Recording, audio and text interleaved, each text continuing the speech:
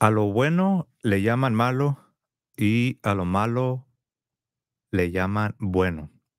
A la luz llaman tinieblas y a las tinieblas llaman luz. Vivimos en tiempos en los que parece ser que muchas cosas, no solo en el mundo, sino lastimosamente y dolorosamente aún al interior de nuestra amada Iglesia Católica, pareciera que están patas arriba, pareciera que están al revés. Y uno se pregunta eh, qué está sucediendo.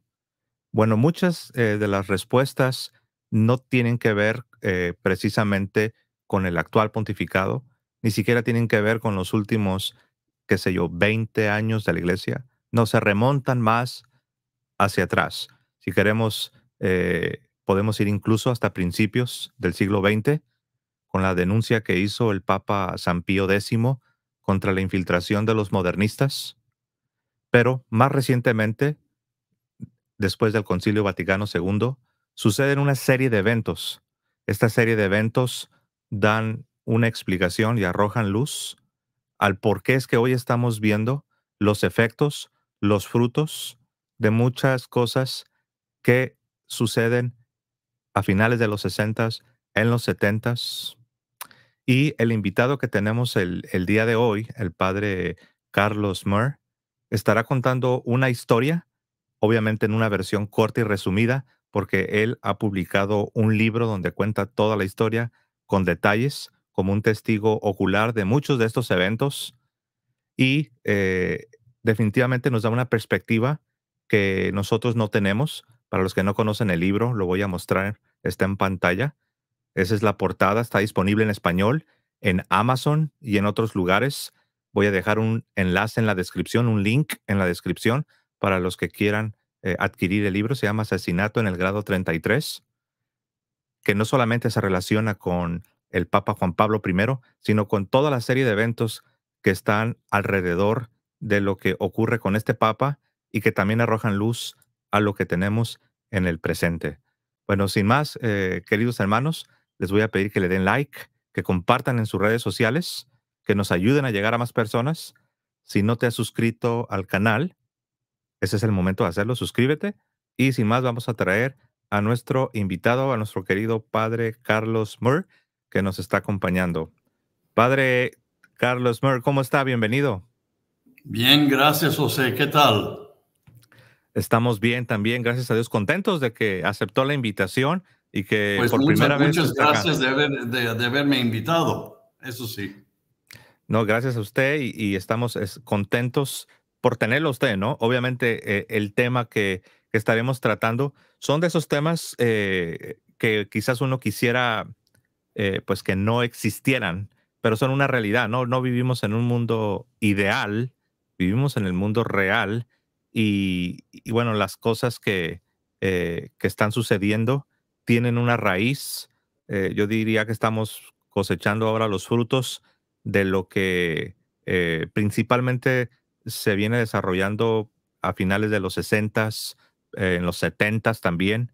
Y en la introducción les hablaba aquí a, nuestra audiencia cómo usted en, en, este libro que se llama Asesinato en el grado 33, ahí está toda la versión completa, pero eh, eh, obviamente en esta ocasión pues usted nos va a dar un, un resumen sobre lo que a usted le tocó presenciar, lo que usted sabe que sucede eh, en torno no solamente a Juan Pablo I y su misteriosa eh, muerte, por así decirlo, sino también la serie de eventos que ocurren con la elección de los obispos, con eh, el que estuvo encargado de la liturgia y otras cosas que suceden, que yo creo que arrojan luz a lo que hoy estamos viendo, pues cada día, ¿no? Uno se levanta diciendo, ¿y ahora qué, no? ¿Y ahora qué va a pasar? Y ahora qué noticia vamos a escuchar, pero esto no sucedió de la noche a la mañana, ¿o sí, padre? Bueno, tocaste, tocaste, tocaste un punto muy importante y también creo que nos indica dónde empezar con esto, que es la situación actual de la Iglesia Católica, la Iglesia de hoy. Eh, yo no sé cuál es tu opinión sobre el asunto, José, pero mi opinión es que la iglesia está en un estado desastroso hoy.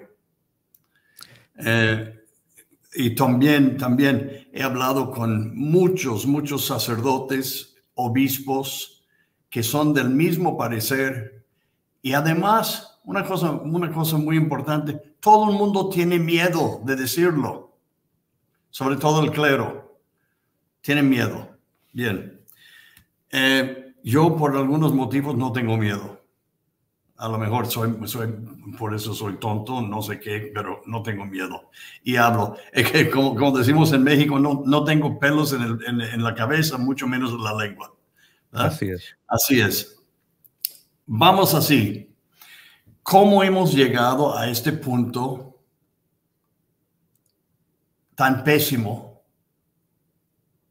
como es la iglesia en, este momento?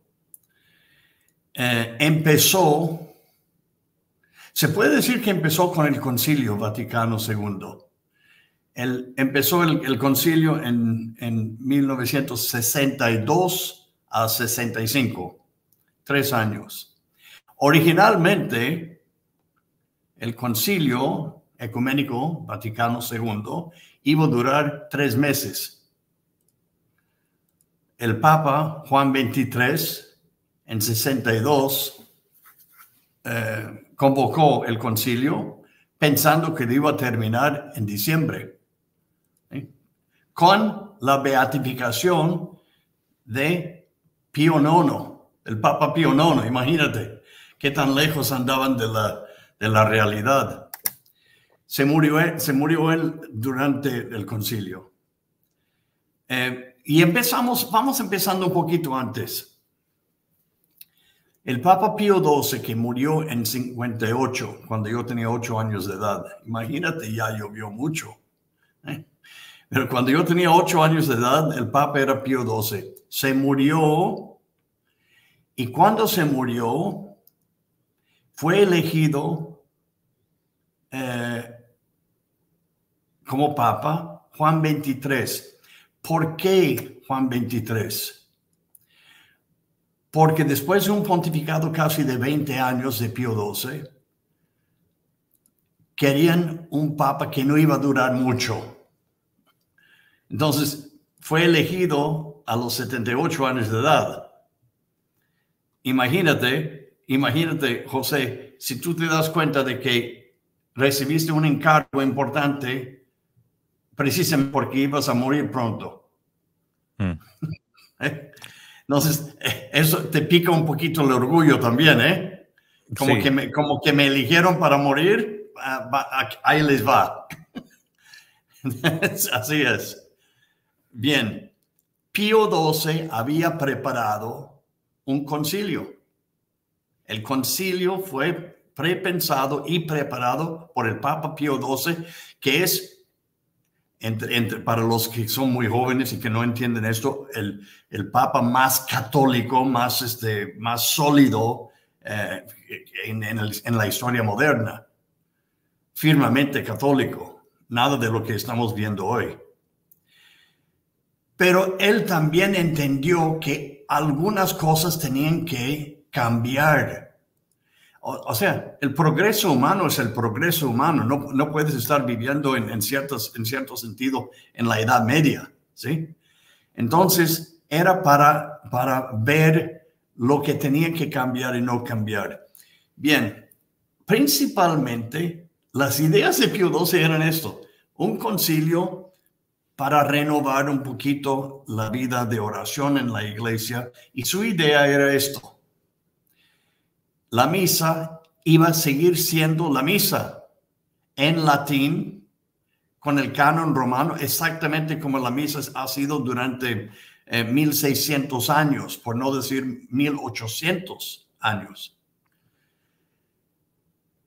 Con la excepción de poner las lecturas en la lengua de, de cada nación, en inglés, en español, en francés, etcétera, etcétera. Las lecturas Punto. Punto. Este permiso Pío XII ya había dado a, los misioneros en China en diferentes lugares donde nada de cultura católica tenía la gente. Pues ¿cómo vas a pedir a, los chinos, por ejemplo, de escuchar misa en latín? Si, si apenas ayer aprendieron quién era Jesucristo, ¿sí? Entonces, para más fácil las lecturas, muy bien. Entonces, su idea de modernizar la misa era de poner las lecturas y algunas de las oraciones en la lengua uh, vernácula de la gente. Bien. No cambiar la misa, y el mismo concilio vaticano dice que no hay que tocar una palabra del canon romano. ¿Eh? Ni una palabra. Bien, ¿qué hicieron? Los modernistas, ¿qué son los modernistas? Los modernistas empezaron un siglo antes. Un siglo antes. Estamos hablando de de, mil, de 1960, eh, los modernistas empezaron más o menos en 1860, eh, principalmente de Alemania y principalmente influenciado mucho por los protestantes. ¿sí? Empezaron a examinar fuentes bíblicas, etcétera, etcétera, etcétera. Dieron una importancia muy, mucho más grande a la Sagrada Escritura que a al magisterio de la iglesia y más a la Sagrada Escritura que a la doctrina de la iglesia y el dogma de la iglesia. Y nosotros católicos tenemos esto. Tenemos la Sagrada Escritura, tenemos la iglesia y también tenemos la, enseñanza de la iglesia, la tradición nuestra. ¿Por qué, ¿Por qué son importantes? Es porque, mira, les invito a los, a los, los que, que nos están escuchando a ser lógicos Escucha eso, muy bien. No teníamos la Sagrada Escritura en, la iglesia primitiva. No existía. Era la iglesia católica que unió estos libros y decidieron de que eran, eran este, la, la, palabra inspirada de Dios. La iglesia tomó la decisión de lo que es el Nuevo Testamento y también el Antiguo Testamento. ¿Y sabes por qué? ¿Cómo lo hicieron? Uno de los criterios más bellos que es eso. ¿Cómo haces tú para decidir este libro está inspirado por el Espíritu Santo y lo vamos a poner en, un, en el contexto de una Biblia? Biblia significa libro, ¿sí? Bien. Porque eran cartas, historias de Cristo, de la vida de Cristo, usados en la Santa Misa del primer siglo, segundo siglo y tercer siglo. Es increíble eso, ¿eh? Entonces, cuando vieron los, los, los obispos que estos textos estaban aceptados por las comunidades cristianas, usados en la misa, decidieron que eran inspiradas. Otros no. Bien. Ahora, acuérdate de eso. Existió antes la Iglesia Católica antes de la Biblia. Es más, la palabra Biblia no está en la Biblia. ¿Sí? Exactamente. Bien. Ok. Entonces, para nosotros es muy importante la iglesia. Es más, Cristo vino a fundar una iglesia, no vino a escribir un libro. Con todo debido respeto a la Sagrada Escritura, y, yo lo quiero mucho, es, es, la palabra de Dios. Pero Jesucristo no andaba y dijo, eh, ni los apóstoles y, discípulos con plumas escribiendo todo lo que decía. Es más, escribió solamente una vez en la arena, Y no sabemos qué escribió. una sola vez está grabado que escribió algo. Así es que Cristo no vino a escribir un bestseller. Este no fue su, su, su, su, razón de ser. Su razón de ser era la salvación de los hombres y instituir una iglesia que iba a ser su cuerpo místico en la tierra. Bien, los protestantes cambiaron todo aquello y pusieron en primer lugar la Sagrada Escritura. Y no solamente en primer lugar, empezaron a dar su propia interpretación a la Sagrada Escritura. Bien, este espíritu del protestantismo entró en la Iglesia Católica, más o menos en los años, en, los, en 1850 en adelante. Y había mucho, mucha búsqueda y, encuentro también bíblico. eh, escuelas bíblicas empezaron para aprender este hebreo, aramaico, todas las lenguas antiguas. fue una cosa fantástica, muy buena. El mismo Papa eh, empezó el Biblicum, la escuela, la escuela para la Sagrada Escritura en, Roma y, puso encargado los jesuitas. Eh, fantástico pero siempre cuando está de acuerdo con la doctrina cristiana. La interpretación no es independiente. La Sagrada Escritura no está aquí y la Iglesia Católica ya. Es la misma cosa. Bien, los modernistas empezaron a separarlo. Dieron más importancia a la Sagrada Escritura y sus interpretaciones independientes de la Iglesia encíclica tras encíclica tras encíclica condenando esta, esta ideología nueva. Lo llamamos modernismo porque era una cosa moderna en, en, 1860. ¿okay? Bien, y estaba bajo control, ya lo tenían controlado. Pero, como ¿cómo, dicen en México? Debajo de la, debajo de la, de la ola. ¿sí? Así sutilmente, sutilmente, seguían viviendo profesores, sobre todo en seminarios, y alguno que otro obispo, con este espíritu rebelde, pero no podían hablar. Tal como no pueden hablar hoy, José. Pero hoy es al revés. hoy, es, al revés. es al revés. Pero es el mismo miedo. ¿eh? Mm. Es el mismo miedo. El, el, miedo es el miedo. La cobardía sigue siendo cobardía. ¿eh? Nada más que por una razón y por otra razón. Las razones son diferentes, pero el efecto es igual. No hablan. Bien. Pío, San Pío X, en, creo que en 1905, escribió una encíclica una carta detalladamente hablando del modernismo, lo que, los males del modernismo, lo que era, etcétera, etcétera. Y insistió que todo profesor en todo seminario del mundo tomara un juramento contra el modernismo. Un juramento. Yo juro ante Dios ¿eh? de no enseñar cosas que están fuera de lo que enseña la iglesia. Muy bien, bien. Pero todo esto siguió existiendo calladamente, calladamente, pero debajo de la ola, ahí está, pero ahí estaba. Cuando finalmente hablaron de, un, un, concilio ecuménico Vaticano II, en 1960,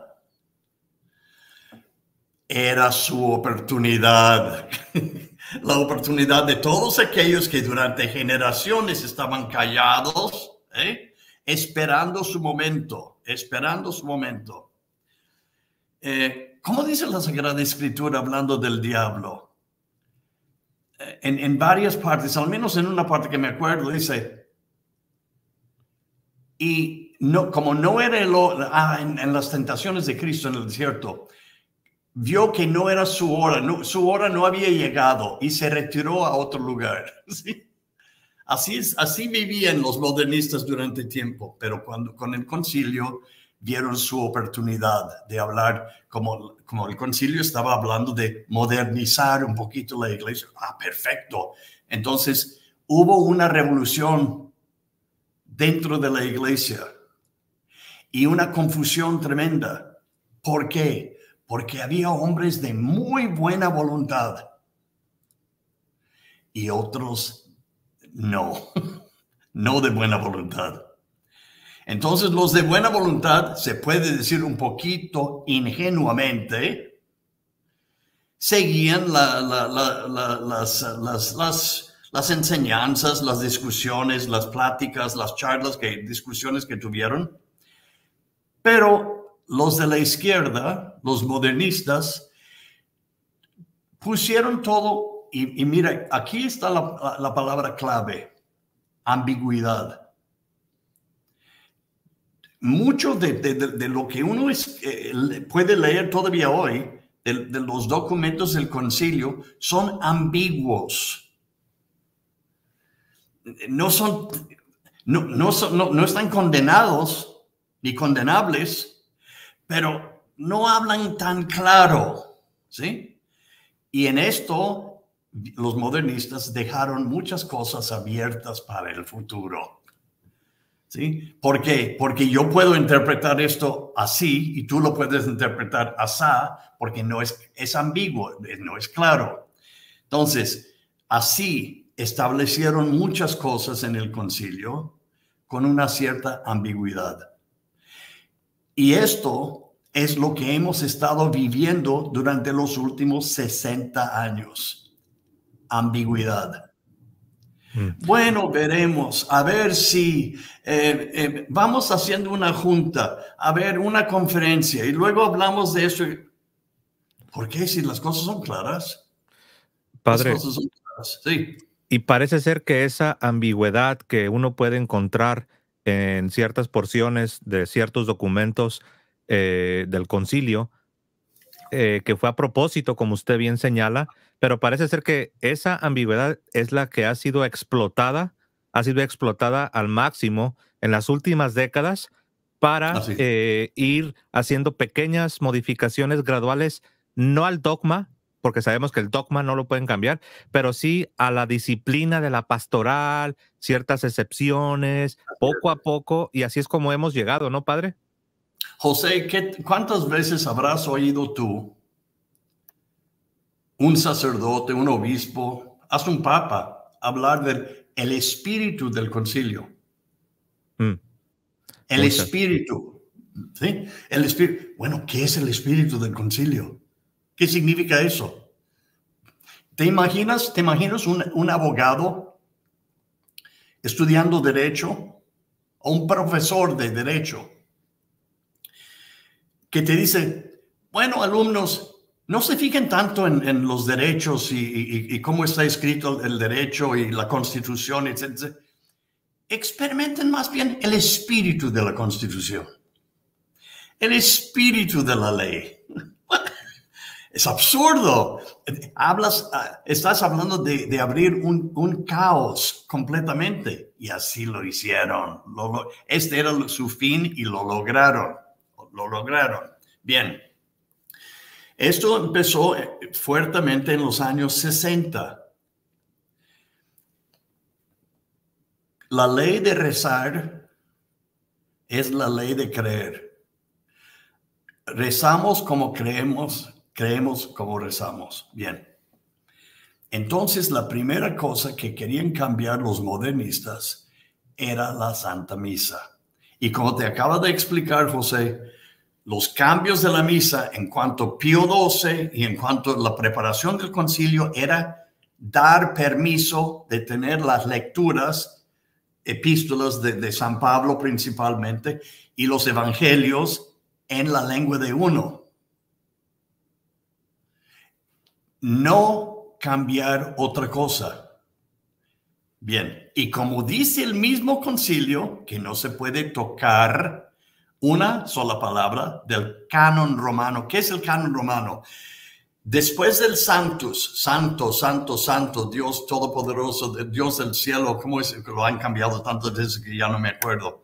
Del universo, llenos están el cielo de la tierra de tu gloria, o están en el cielo. Después de esta oración del Santos, Santos, Santos, empieza el canon. Santo eres en verdad, Señor. ¿Bien? Ok, bien. Hasta peripsum, con, con, con él, en él, peripsum, et, et, inipso, oh Dios mío, me estoy haciendo bolas yo solo, cum ipso, et inipso, inips, et inipso, oh madre mía, ya, mire, ya, mire, José, no, no llega viejo, ¿eh? porque no vale la pena, te olvidas todo. Eh, con él en Él y por Él. A ti, Dios Padre Todopoderoso, en la unidad del Espíritu Santo, todo honor y toda gloria por los siglos de los siglos y el gran amén. Todo esto, desde el Sanctus hasta este momento, es el canon. ¿Qué significa canon? Regla, norma, hecho, hecho, hecho y derecho. Ahí está. Esto había solamente uno y se, llama, se llamaba y se llama el canon romano. Bien, esto, sus raíces son, según los que, los, como, como decía Cantinflas, según los que, los que saben leer, eh, sus raíces están del segundo y tercer siglo. ¿Eh? Bien, y no han cambiado en todo este tiempo, casi 1800 años. Algunos dicen que es más, más que, que fueron, fueron cosas hechas por los apóstoles en tiempos apostólicos. Bien, eso no se puede cambiar. Bien, pero los modernistas tenían otra idea lo odiaban, odiaban el canon romano. ¿Por qué? Porque era tradición, porque era como cemento, era piedra, nada cambiaba, fuerte. Era el sacrificio, el sacerdote era sacerdote, no era un ministro, no era un presidente de la comunidad, no el animador, era sacerdote ofreciendo sacrificio. El sacrificio de la misa era el mismo sacrificio de la cruz. Cristo en la cruz sin sangre verdadera, sangre que, eh, aparente, ¿sí? En una forma no, no sanguitaria. Bien. Pero el mismo sacrificio. Ellos querían terminar con toda esa idea del sacrificio. pero imagínate, ¿te, das cuenta de lo que estoy diciendo?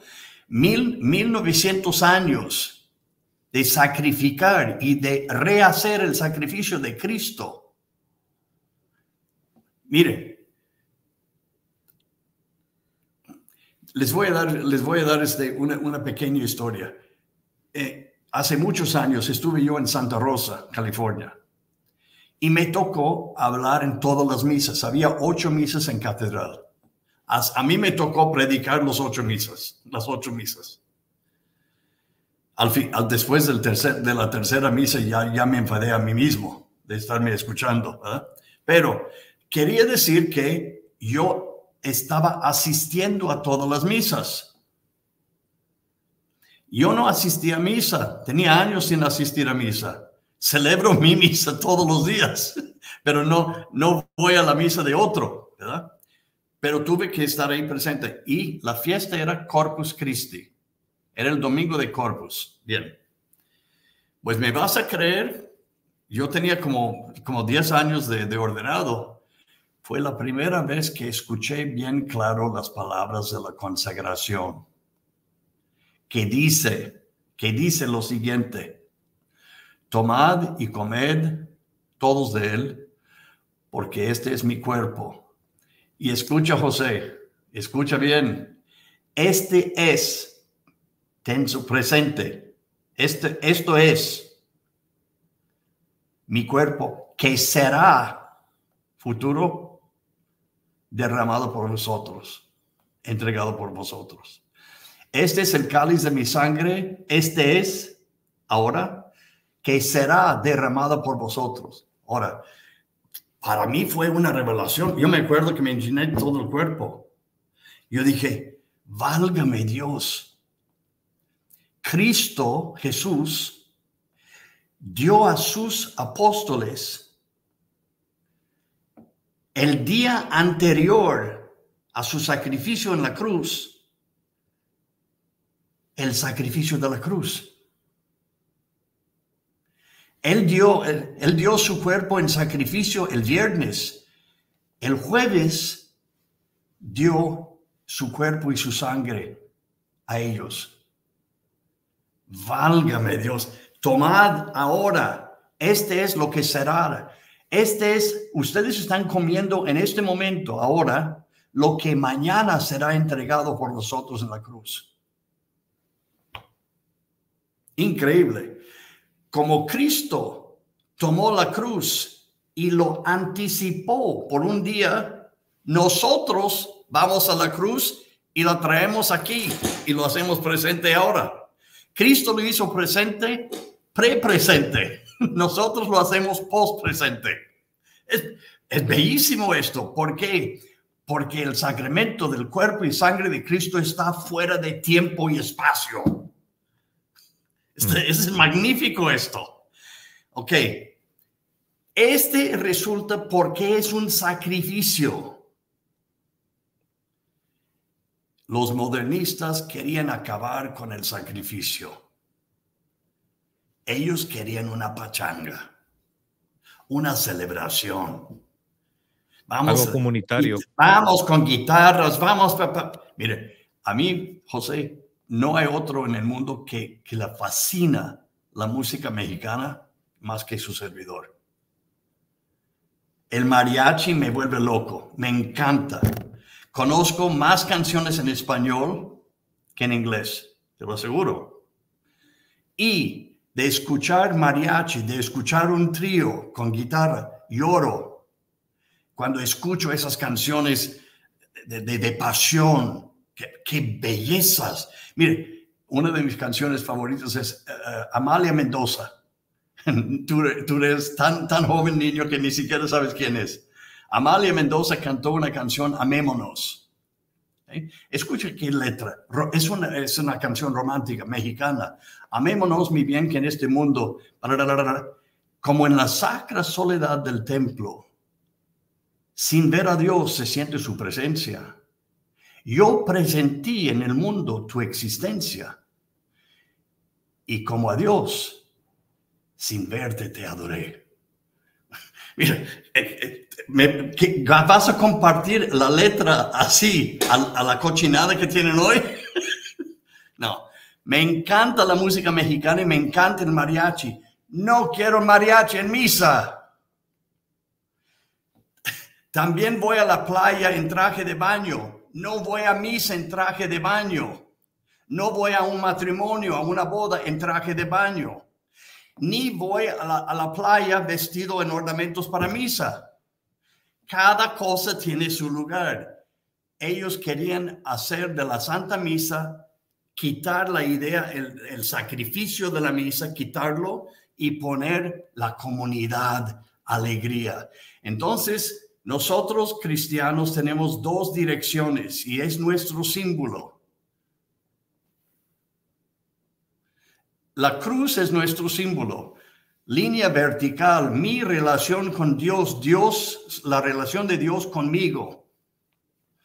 Mi relación contigo, José, tu relación conmigo. Las dos cosas. Ellos quitaron esta. Y mm. nos quedamos con la hermandad. Nos agarramos de la mano y así estamos muy contentos. Es absurdo, pero así lo hicieron. Ahora, ¿cómo lo hicieron? ¿Cómo lo hicieron? Porque te acaba de decir que el concilio dice que no se puede cambiar ni una palabra del canon romano. Entonces, un hombre llamado Aníbal Bugnini, tiene su fotografía ahí mismo, Aníbal Bugnini dijo, yo sé lo que vamos a hacer vamos inventando otros tres cánones. No tocamos el canon romano, pero inventamos otros tres. Y vamos a hacer uno muy cortito.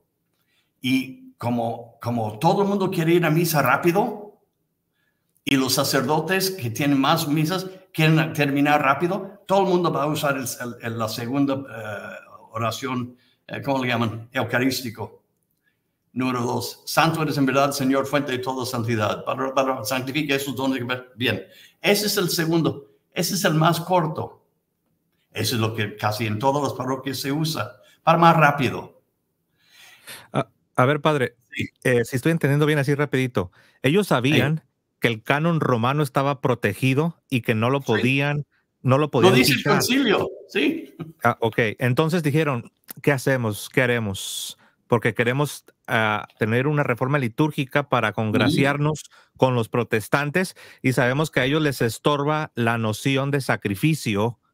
Entonces, como no podían cambiar el canon romano, lo que hicieron fue no, no quitarlo, sino más bien agregar otras opciones, ¿no? ¿Es eso lo que hicieron? Entonces tienes, tienes la plegaria eucarística número uno, número dos, número tres y número cuatro y casi nadie usa el número uno, que es el canon romano. Pero, no, pero no lo tocaron. Pero no lo tocaron. Ahí lo dejaron. Ahí lo dejaron, sí. Pero no lo usan, ha caído en desuso por, para muchos. Y, mira, José, te voy a decir otra cosa que te va a sorprender mucho. De, de cómo son largos, ¿eh? Más largos que la cuaresma, los modernistas. Eh, dijeron, bien, si tú, si tú hablas con un sacerdote hoy, un sacerdote recién ordenado, ¿sí? él te va a decir que el segundo, la segunda plegaria eucarística se llama, es la más antigua. Es de San Hipólito. ¿sí? Del segundo siglo, tercer siglo. Eh, es, es, es más antiguo que el canon romano, imagínate. Te lo dicen. Perdóname mucho, pero Bugnini tuvo un, unos, tuvo 10 hombres trabajando con él para la reforma de la misa. Seis eran protestantes. ¿Sí? Seis eran protestantes. Mira, escúchame, católico. Lo que te estoy diciendo es que tu nueva misa, la, la misa nueva, fue fruto de seis protestantes que no creen en el sacrificio de la misa, ni creen en la Eucaristía, ni creen en la presencia real de Cristo, y cuatro católicos. Uno de estos católicos era un protestante que se había convertido al catolicismo, un hombre brillante, un genio. Se convirtió al catolicismo y fue al seminario, lo ordenaron sacerdote. Él también estaba con Bugnini. Y su nombre era Luis Bouillet. Yo lo conocí. Luis Bouillet, después, poco antes de morir, poco antes de morir, después de años, escribió sus memorias, su, memoir de los años que trabajó con Bugnini. La segunda oración eucarística lo compuso él, Luis Bouillet, en un restaurante en Trastevere, en Roma, sobre una servieta, una servieta, una servieta y una pluma. Lo, lo escribió cuando, estaban, cuando estaba cenando pizza o espagueti, yo no sé qué estaba cenando, porque tenía que estar sobre el escritorio de su jefe, Bugnini, a las 10 de la mañana el día siguiente. Lo confesó él. Ni cual San Hipólito, ni cual ni cual San nada. E, entonces, él tenía la presión de que al día siguiente tenía que entregar, poner en el escritorio de su jefe eh, esto, la reforma, por así decirlo, y lo escribe el día anterior, se le vino a la mente o, la noche anterior, la noche anterior estaba cenando. Sí, la noche anterior en un restaurante de Trastevere, que es un barrio muy bonito de, de Roma, para que el día siguiente podía tenerlo sobre el escritorio de su jefe, Aníbal Bugnini. Bien. Ok, ahí vamos bien con la reforma. Ahora, fue para nosotros, de nuevo, tú eres muy joven y no te acuerdas de todo eso pero yo sí me acuerdo. Fue impuesto al pueblo católico. Nadie te preguntaba si tú querías eso o no. De repente, así era. La misa era en inglés, la misa en español, la misa así, así. Eh, empezaron con música rock, empezaron con así, pa, pa, toda la idea del sacrificio se acabó. Y luego, para acabar de, de, de fregar, para aquellos que todavía seguían creyendo en la presencia real de Cristo, que la Eucaristía era algo muy especial, insistieron que recibieron la, Eucaristía en las manos para acabar con esta superstición de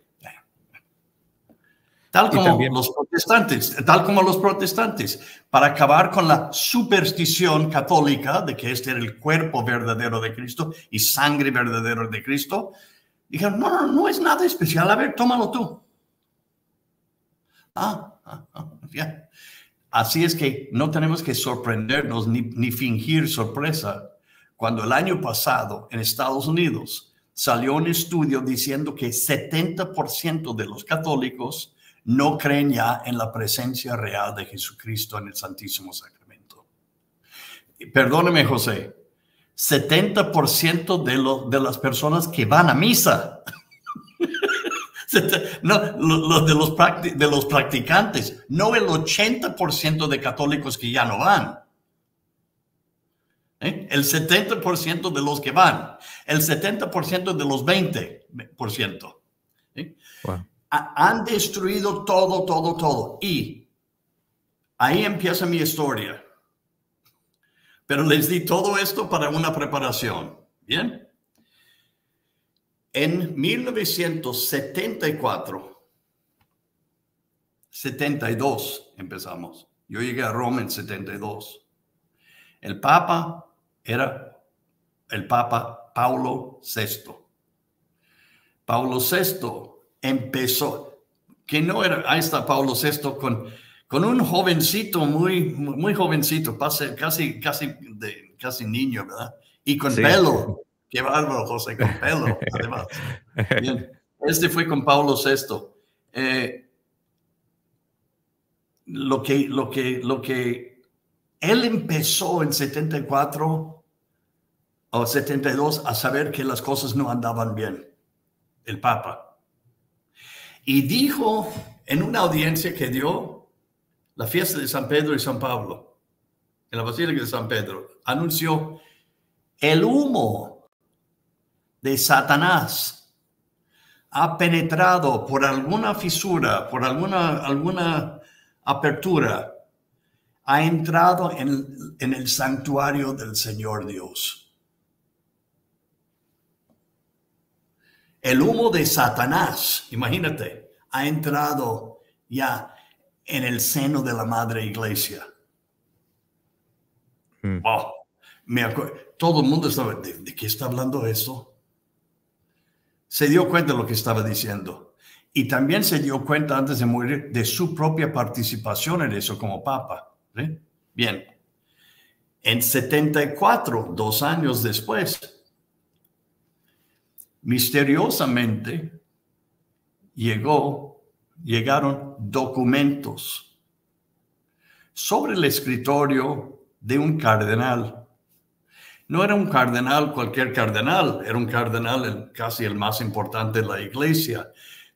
Nosotros católicos tenemos en Roma, en el Vaticano, una Corte Suprema.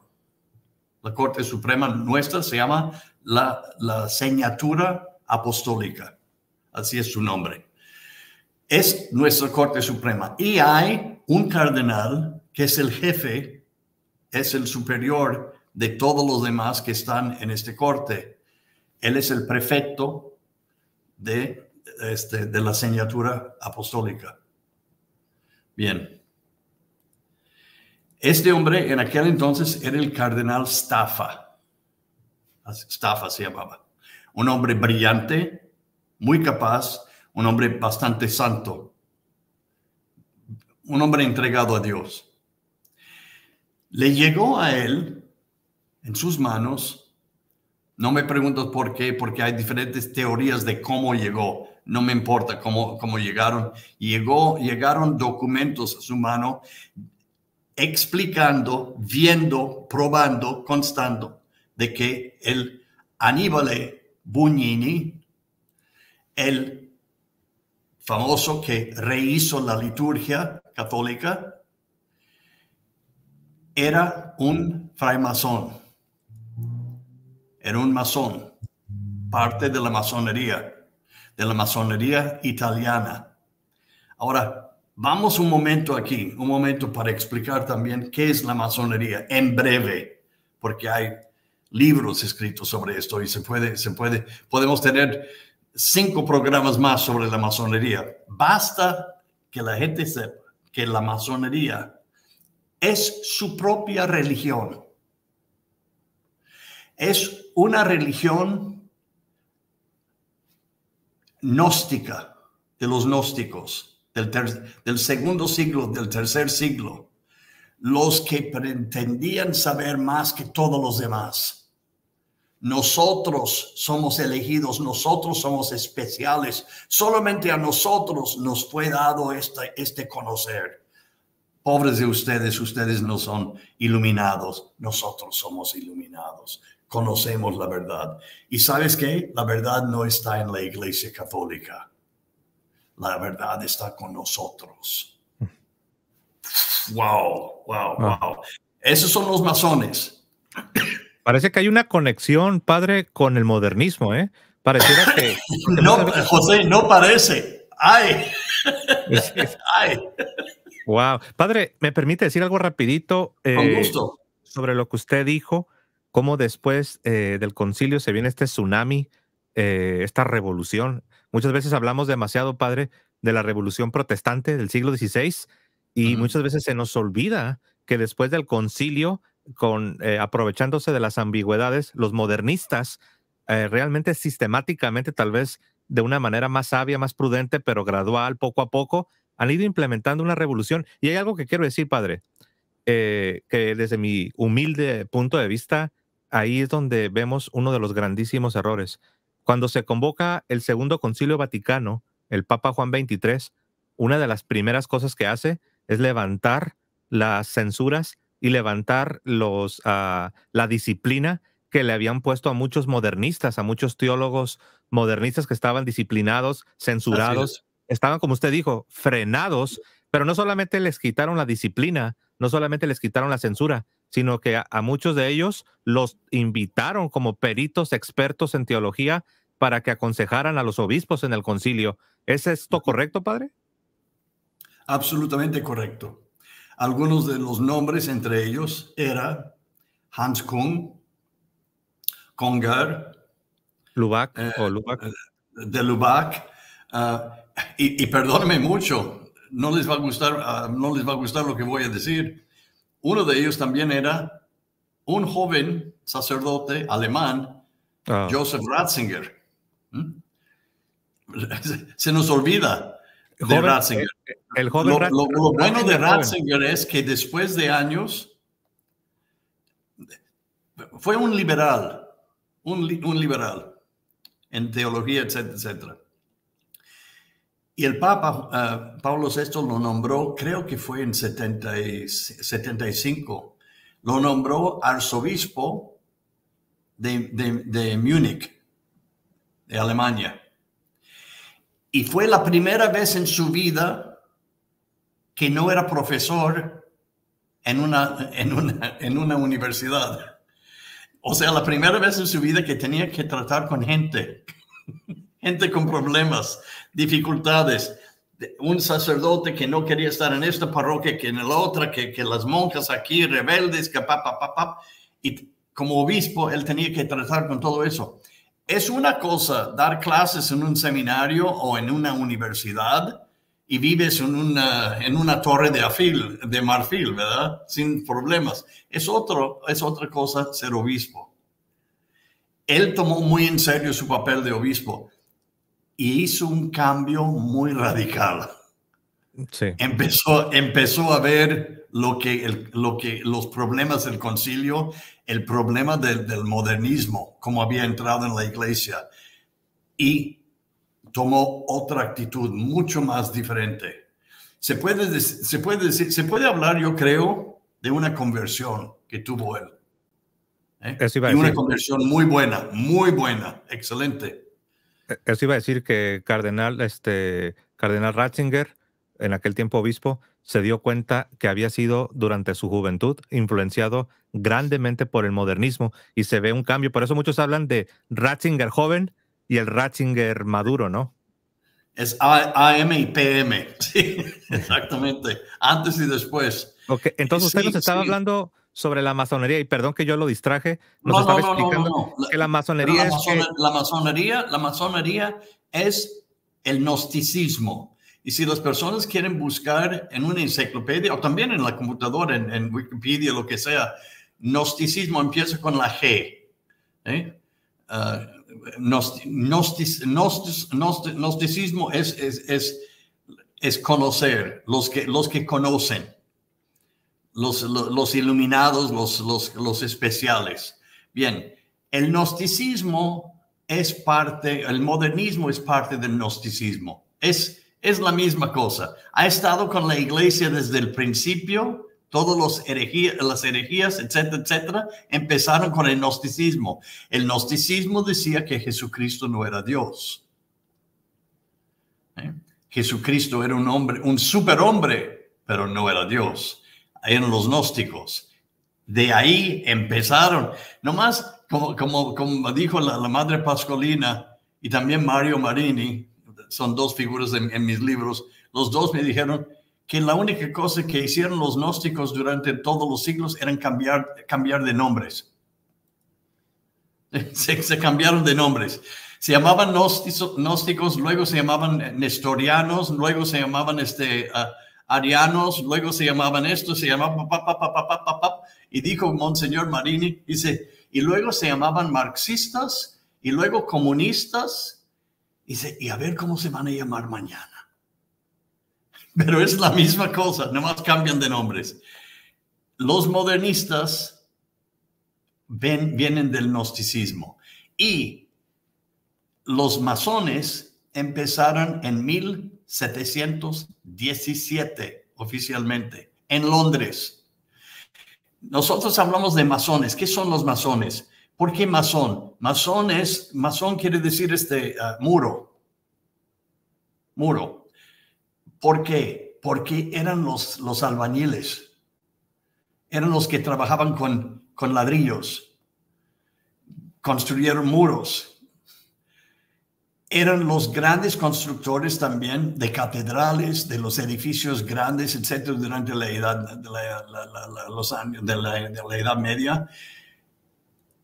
Se llamaban muratori, masones, masón, masón en inglés también, mason es la palabra para una persona que trabaja con ladrillos, ¿eh? así. Bien, y lo que hicieron los masones, empezaron una fraternidad empezaron muy bien. Una fraternidad para, para preocuparse, para ocuparse de, de, de, los suyos. Era como, como, como los sindicatos de trabajadores, etcétera, etcétera, que ellos decidieron, mire, si se muere uno de, los, de nuestros hermanos, nosotros nos vamos a, nos vamos a ocupar de, de, de sus hijos, que son huérfanos y de su esposa les vamos a ayudar. Hicieron eso como una cosa de caridad. Eh, o sea, sus raíces son muy buenos. Pero poco a poco entraron, con, entraron en su grupo otros hombres con ideas políticas revolucionarias y robaron su vocabulario. Las palabras son muy importantes, las palabras. Estuvimos hablando hace poco de la ambigüedad, ¿eh? cosas ambiguas que se puede, cuando tú dices comunión, significa una cosa para ti, pero para, para mí significa otra cosa. Es ambigua. ¿Eh? Si no definimos este, las palabras correctas. Bien, los masones, este grupo político, entraron y robaron la, el vocabulario de los masones arquitectura, uh, plano, compás, todo esto lo usaron y le dieron unos, unos significados secretos. Y empezaron y formaron sus grupos políticos. Empezaron en una cantina en Londres de reunirse estos, estos iluminados y fueron fundados fundados, al menos el que construyó su, que, escribió su, su, constitución, si se puede decir, fue un ministro protestante.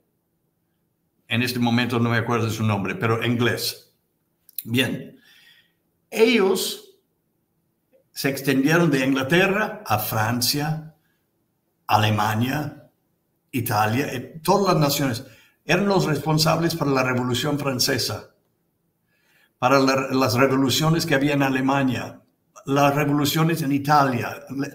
Todo era de revolución para acabar con la, dicen ellos, la tiranía y la, entrar con la, voz de la razón. De la razón. Imagínense cuando ellos responsables para la Revolución Francesa, cuando ganaron y mataron miles de personas en, Francia, en, París, las calles rojas de sangre por la guillotina. Eh, eh, increíble. En la Catedral de Notre Dame quitaron la estatua de Nuestra Señora, Notre Dame, Nuestra Señora, y pusieron una prostituta y adoraron a ella. Ella representaba la razón. Finalmente el hombre llegó a la edad de razón. Pues ¿cuál razón? Era, era, era, era un baño de sangre, una revolución terrible que, que, que destruyó, casi destruyó Francia, etc. Pero este era, eran los masones. Y entonces, después de todo, tuvieron que mantener una sociedad más secreto. No tan abierto, más secreto.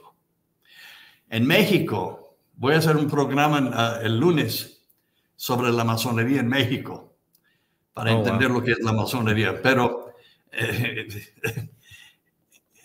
en México son los, son los, este, los que empezaron la revolución, la, la, PRI. Y, era imposible en México antes de 92, 1992, ser político de categoría y no ser masón. ¿Ok? Sí, de hecho. Colombia, Colombia, Venezuela, en, en todo invadieron. Pero esa es otra cosa. Vamos regresando a esto. Los papas, desde el principio desde 1700, eh, el principio de la masonería, la masonería fue condenado, condenado, absolutamente condenado. Un católico no puede ser masón. Y si es masón, si entra en la masonería, es, queda excomulgado de la Iglesia Católica, porque ya escogió su religión. Y su religión es esa, no es catolicismo. Así es que hay una, un abismo, como, como, decía aquel que fue, que fue al, al, seno de, de Abraham. Y la respuesta, permíteme regresar a hablar con mis hermanos. ¿Te acuerdas eso del Evangelio? Y dijo, no, no, hay un abismo entre, entre vosotros y nosotros que no se cruce de aquí para allá ni de allá para acá. ¿eh? Hablando sobre eso que usted acaba de decir, que la iglesia siempre, siempre ha condenado la masonería y siempre se había enseñado que ser masón, eh, como católico, si tú te, hacías masón, eh, quedabas excomunicado, late sentencia. Eh, pero sí sabía usted que en el Código de Derecho Canónico de 1983 hicieron una modificación sobre ese punto. Sí, me di cuenta y me di cuenta quién insistió con Ratzinger que lo pusieron. Era el Monseñor Marini y ahora dice, solamente dice que es pecado grave, ¿no? Ya no, eh, ya no es una excomunión. Sí, pero, y no te imaginas lo que costó poner eso, porque ni siquiera eso estaba ahí. No había ninguna mención de nada al, inicio. ¿eh? Y cuando se dieron cuenta algunos en el Vaticano que, que estaba completamente ausente, fueron con Ratzinger, que era el jefe del prefecto de la Congregación para la Doctrina de la Fe, y insistieron, y él mismo no se había dado cuenta de que, que lo habían quitado. Lo, lo, pusieron. ¿Quién lo quitó? ¿Quién lo quitó?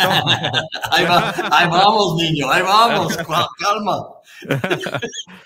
De hecho, Vamos regresando, vamos regresando al 74. Espérame, espérame, espérame. espérame. En 1974, Aníbal Bonini eh, llegó documentación al jefe de la Corte Suprema de que era miembro de la masonería. El cardenal Staffa y el cardenal Silvio Odi, los dos, fueron con Paulo VI y le presentaron esta evidencia. Y no le presentaron esta evidencia, sino antes investigarlo con Interpol, etcétera, etcétera. No era solamente este, chismes de viejitas. ¿eh? Era, era, nos consta, tuvimos investigaciones internacionales de, de las autoridades más grandes. Y sí, resulta de que sí era masón. era parte de, la, de, la, masonería, era uno de los gnósticos y era el encargado, el encargado de la nueva misa. ¿Ok? Mire, José, quiero, quiero que, que esté bien claro esto. La razón por la cual yo, leí, yo escribí ese libro no era porque yo quería hacerme millonario, porque no soy y ni voy a ser ni nada, eso no me importa yo quería escribir este libro antes de morir, para dejar bien claro lo que yo viví, lo que me consta y lo que era y lo que es. Ahora, pueden, pueden estar contentos conmigo, no contentos conmigo, pueden creer lo que he escrito, no creer, a mí no me importa. Ya lo escrito, escrito está. Y es la verdad, es la verdad quiero que todo el mundo se dé cuenta dónde empezó el caos de hoy, dónde empezó fuertemente y reexaminarlo y a ver si andamos en la dirección correcta. ¿Ok? Bien, estos dos cardenales llegaron con Pablo VI, le presentaron la, acusación contra, contra Bugnini. El Papa decidió decir muchas gracias, Bunini, fuera. Lo sacó. Si yo fuera el Papa, lo cual, lo cual nunca va a suceder, así es que no te, no, te asustes, José. Yo lo hubiera, yo lo hubiera, yo lo hubiera mandado muy lejos, por no decirlo más claro. Muy lejos, pero lejísimos. La diplomacia vaticana no lo permite.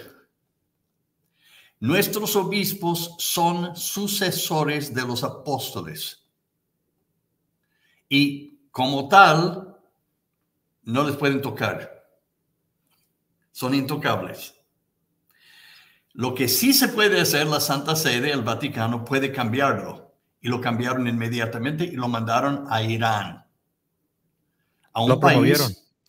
Lo, fue promovido. Exactamente. Esa es la, la famosa promoción del Vaticano. Eh, promovido para quitar. ¿eh? Movido, es la manera de quitarlo de un puesto a otro, promoverlo. Hacerlo, monseñor. Hacerlo, monseñor, monseñor, pero ya muy lejos. Es como decir, no vamos a cancelar el canon romano tradicional, simplemente vamos a incrementar otros cánones.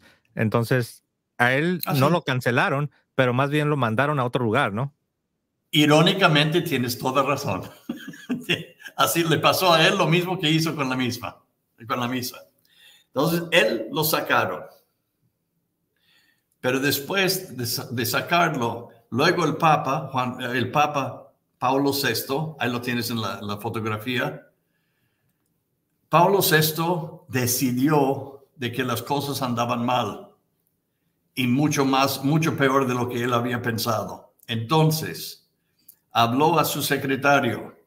Su secretario personal fue Giovanni Benelli, un hombre fuerte, un hombre fuerte, fuerte, como bulldozer. Un hombre con una, una, una inteligencia excepcional y fuerte. No aguantaba estupideces, para nada. Yo estuve, yo estuve ahí ese día con Ratzinger, Benelli, Gantin, Humes y, y se me está olvidando el otro. Ah, bueno, pero eran cinco cardenales hechos en, en, en, eh, en junio, creo que fue junio de, de, de 70, 78, creo, 77, 77, porque fue uh, unas semanas después de mi, mi ordenación sacerdotal. Pero ahí está el cardenal Ratzinger, etcétera, ¿verdad? Y Benelli a su lado. Entonces, el Papa, Pablo VI, habló a Benelli y dijo, eh, tenemos un problema aquí, porque es un problema de un, hablando de espíritu del Vaticano, espíritu del, del, concilio, etcétera, pues un cierto espíritu también entró en el Vaticano el espíritu del liberalismo. Y cuando yo digo liberalismo, estoy hablando de masonería, estoy hablando de como los europeos hablan de liberal, no, no como los americanos hablan de liberal. Sí, los europeos cuando dicen una cosa es influenciado por los liberales, estamos hablando de, los masones, de, revolucionarios, etc. Bien, entonces el Papa decidió hacer algo. Junto Benelli también le habló y dijo estaba de acuerdo, de hacer una investigación de A a Z de la curia romana. ¿Qué es la curia romana? Para aquellos que no saben, es el gobierno de la Iglesia Católica. Eh, es, son, es, de central, central headquarters. Es, es, es, donde todo, donde puedes apelar un caso, puedes, este, etcétera, etcétera, etcétera. El, el centro de nuestra, de nuestra religión aquí en, en, el mundo es en el Vaticano, es el, bajo el Papa. El Papa tiene su gobierno para, poner, para mantener orden en toda la iglesia universal. Bueno, al menos esta era la idea. Ya perdió control, ya se perdió. Pero en 74, cuando, cuando sacaron, uh, o, como, dicen ustedes, me, me gusta cómo se, eh, cómo se puede usar el español, dice, cuando salieron, cuando salieron a Bunini. Cuando, cuando lo salieron. Cuando lo salieron. cuando lo sacaron, ¿verdad? Bien, entonces el Papa insistió en una investigación total del, Vaticano entero. Y entre él y, Benelli, su secretario de confianza,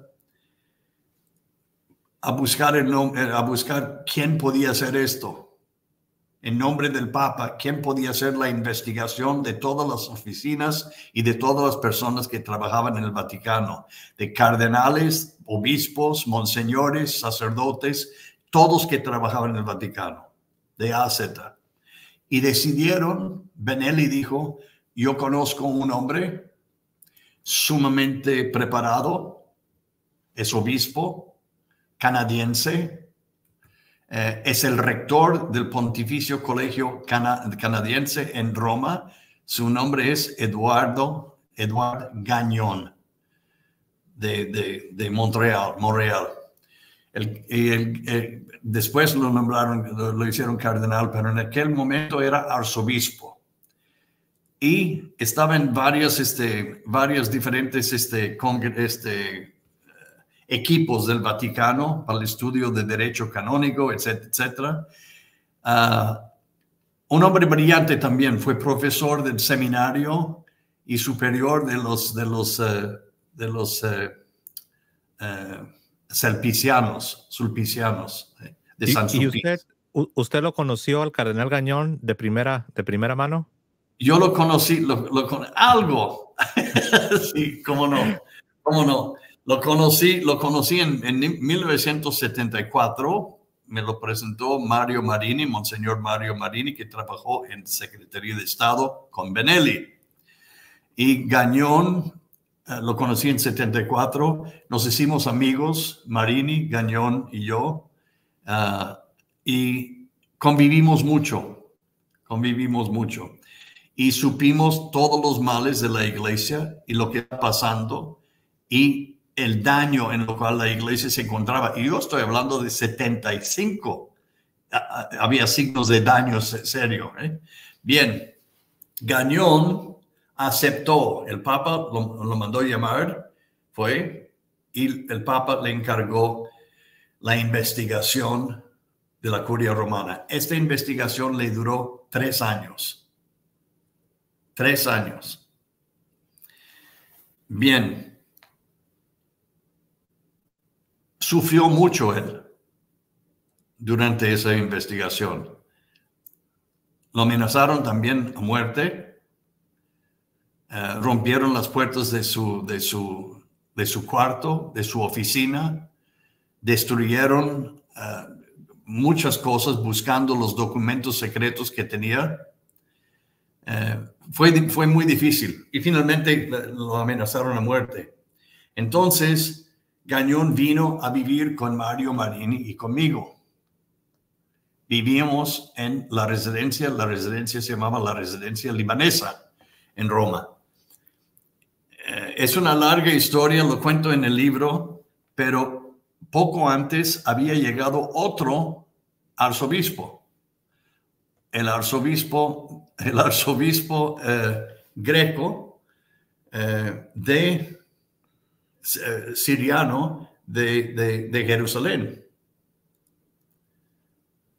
Llegó a nuestra casa a vivir, pero antes de llegar con nosotros estaba viviendo en la cárcel en Israel porque lo agarraron, dicen, eh, transportando armas a los palestinos contra los israelíes. Entonces eh, hicieron una investigación, lo juzgaron, lo pusieron en la cárcel.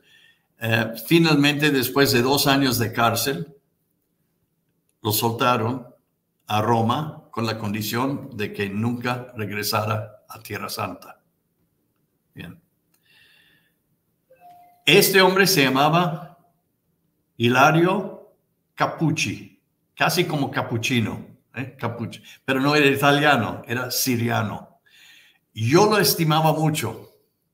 ¿eh? Me puede decir, no, que, que, hizo esto, que, que, armas a los palestinos. no me importa. Era un hombre simpático, con lo cual yo tenía, yo desayunaba todos los días. A mí me quería mucho yo lo estimaba mucho él. ¿eh? Y éramos amigos. Bien, pero todo eso para decirte que cuando lo soltaron de la cárcel en, en Israel, cuando llegó a Roma, había manifestaciones como no te puedes imaginar, en favor y en contra de lo que hizo vino a vivir en casa nuestra, en la casa libanesa. Y tuvimos guardia civil, tuvimos este, eh, eh, policía especial, policía secreto de los sirianos, de los israelíes, un van con 24 horas al día enfrente de la casa. En otras palabras, para no ser muy largo, vivimos nosotros en la casa más segura del mundo. No se podía entrar ni salir había dos guardias con metralladora a, las puertas de nuestra casa para protegerlo a él durante años. ¿Eh? Lo cual... Así es que Gañón, Gañón, cuando nos dijo que, que, que estaba diciendo con, a Mario y mí, lamentando que lo habían amenazado a muerte, nosotros decimos, vente a vivir con nosotros, nadie puede penetrar nuestra, nuestros muros, es imposible, no te puede matar que por un lado eh. tenemos a este cardenal, cardenal Gañón, haciendo una investigación de la masonería infiltrada en la curia romana y sabemos que ahí se estaba metiendo en las grandes ligas, se estaba metiendo en una misión peligrosa, pero la providencia le preparó por lo mismo que tenían a este obispo venido de Medio es Oriente. Increíble, es increíble. preparó el lugar perfecto para estar protegido en contra de los masones palabra, en, serio es una cosa increíble. Él mismo lo reconoció la divina providencia en todo eso. Wow. Vino a vivir con nosotros y, nosotros tres, eh, Mario Marini, el, eh, arzobispo Gañón y yo, pues hicimos más amistad todavía, vivimos juntos años. Y también con Capucci, que, era, yo, te dije que a mí se me hacía un muy buen hombre, lo quería mucho. Una pregunta, y hablé, Con, ah, hablé con él este, este, dos meses antes de morir. Murió a los 94, 95 años de edad. Murió hace poco. Total. Tengo una pregunta, padre.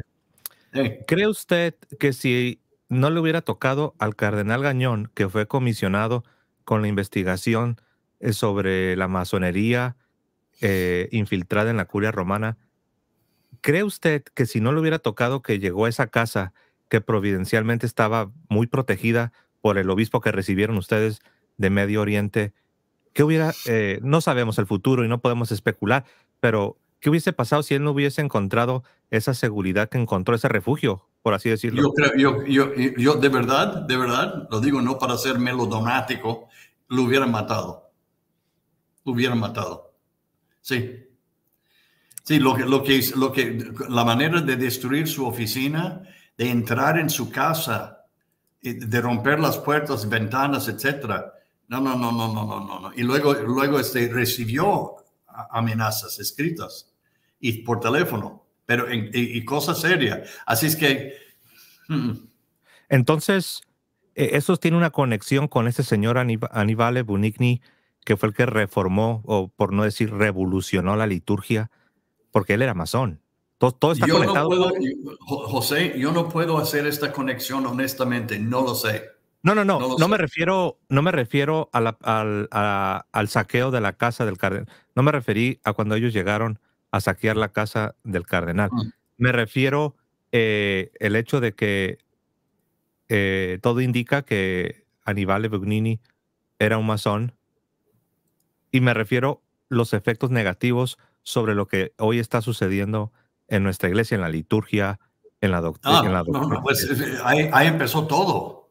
Ok. Ahí empezó todo. Total, mire, voy a hacerlo rápido, eh, porque, porque ya me, pediste una hora y, ya, ya, está dormido nuestra audiencia. Estoy no, están bien entretenidos, ¿eh? No se preocupe. ¿Quién sabe? Mire, pero la cosa es esta. Terminó su estudio después de tres años. Y cuando lo terminó, el, el cardenal Felici me ordenó sacerdote y Gañón predicó mi ordenación. ¿sí? Estaba ahí. Bien, así que hicimos grandes amigos toda la vida. Yo estuve con él poco antes de morir y luego estuve en su funeral en Canadá.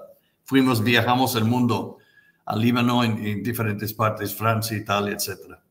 Pero eh, al terminar su estudio me pidió a mí si yo lo podía llevar con el Santo Padre. Dice, eh, el jueves, por ejemplo, tengo audiencia con el Papa para entregarle los resultados de, la encuesta, del estudio, de, la investigación. Él tenía tres tomos, eran tres tomos llenos. Le ayudé también con organizar algunos de esos tomos, no con la investigación, no estoy diciendo esto pero con organizar las cosas que iba a entregar al Papa, sí. Fuimos, llegamos al, al Cortile San Damaso, que es el patio principal del Vaticano. Gañón subió con su documentación para ver a Pablo VI, pensando que ya iba a presentar eh, el resultado y que el Papa, a través de Benelli, iba a actuar ya con esta información. ¿Actuar en qué sentido? Actuar en limpiar casa. Ya era hora. Ya era hora de limpiar casa. Este es Benelli. Fuerte, fuerte y bueno. Eh, de todos modos, sucedió otra cosa también. En 75, el arzobispo Gañón se dio cuenta de otro masón en un lugar clave del gobierno central de la iglesia, la curia romana. Este se llamaba, tenemos tres hombres importantes en toda este, esta historia y todos empiezan con la B, así es que hay un poquito de confusión. Uno es Benelli, que es bueno, otro es eh, Bugnini, que no es tan bueno, este, del inventor de la nueva misa. Y este tercero es, fue un cardenal, un cardenal Sebastiano Baggio. Ahora, ¿quién es Baggio? José, Baggio, este es Baggio. Cardenal Baggio, absolutamente, sin duda alguna, era un masón. Constaba eso. Él era el cardenal encargado de crear todos los obispos del mundo. Todos los obispos durante 12 años, los 12 años postconciliares, años muy delicados, todos los obispos del mundo fueron hechos por él. Y él hizo la gran, todo lo que pudo hacer para, para promover obispos liberales, en el sentido liberal. Conservadores, ninguno, ninguno. había algunos conservadores que, que, fueron nombrados obispos en diferentes lugares después de luchas increíbles. ¿eh?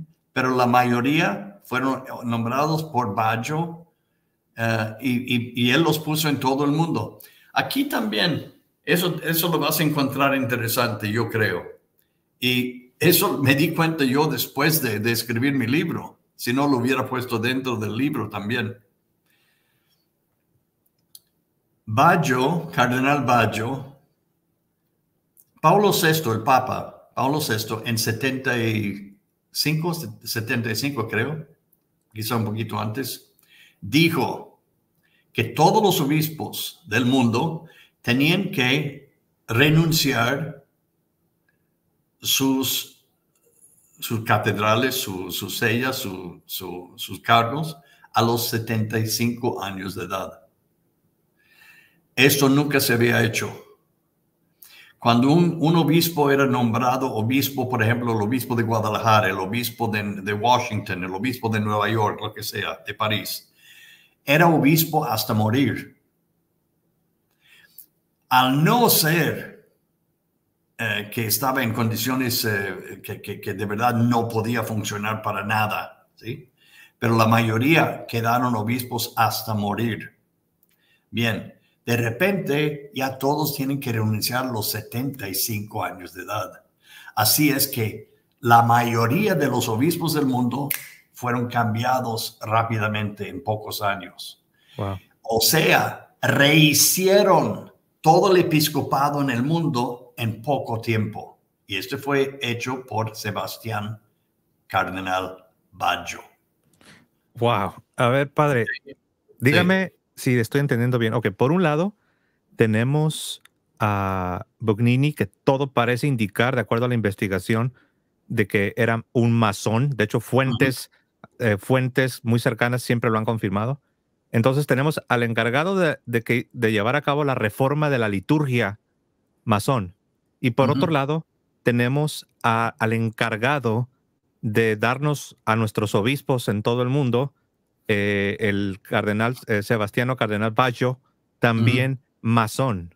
También masón. Y, de 100%, seguro. Wow. ¿eh?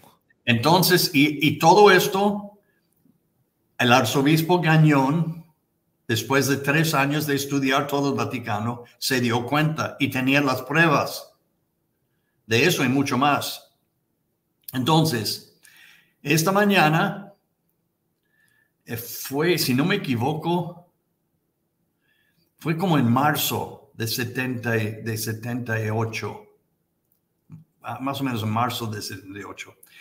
Me dijo, me, dijo, ¿qué vas a hacer pasado mañana? Dije, pues, a tus órdenes, ¿qué, ¿qué gustas hacer, al gañón? Dice, quiero que me llevas al Vaticano a entregar el estudio finalmente al Santo Padre.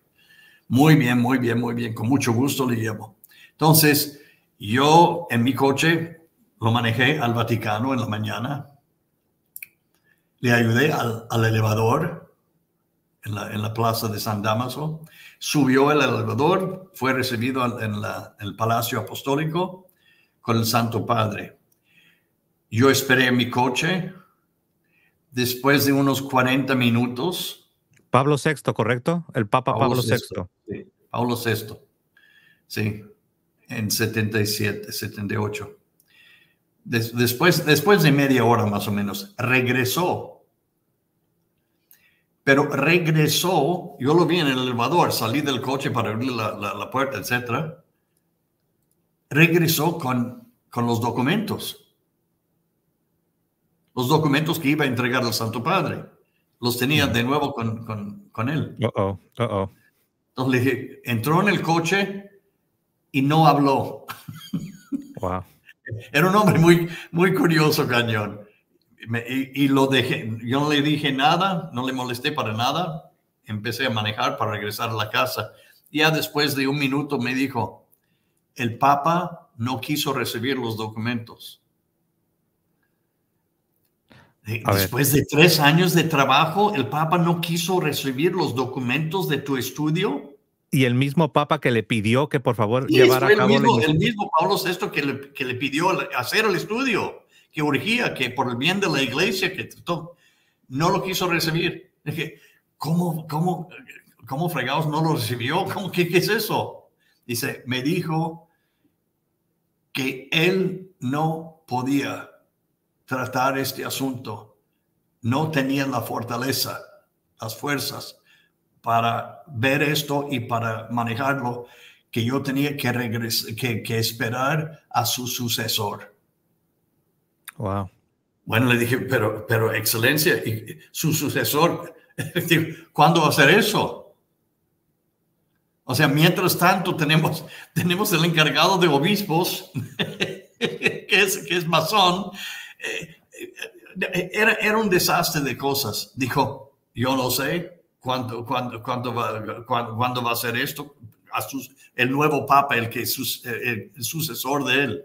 Bueno, como sea, se murió el día 6 de agosto, Pablo VI. Eh, entonces, sí, fue como, como cuatro meses antes de, su muerte.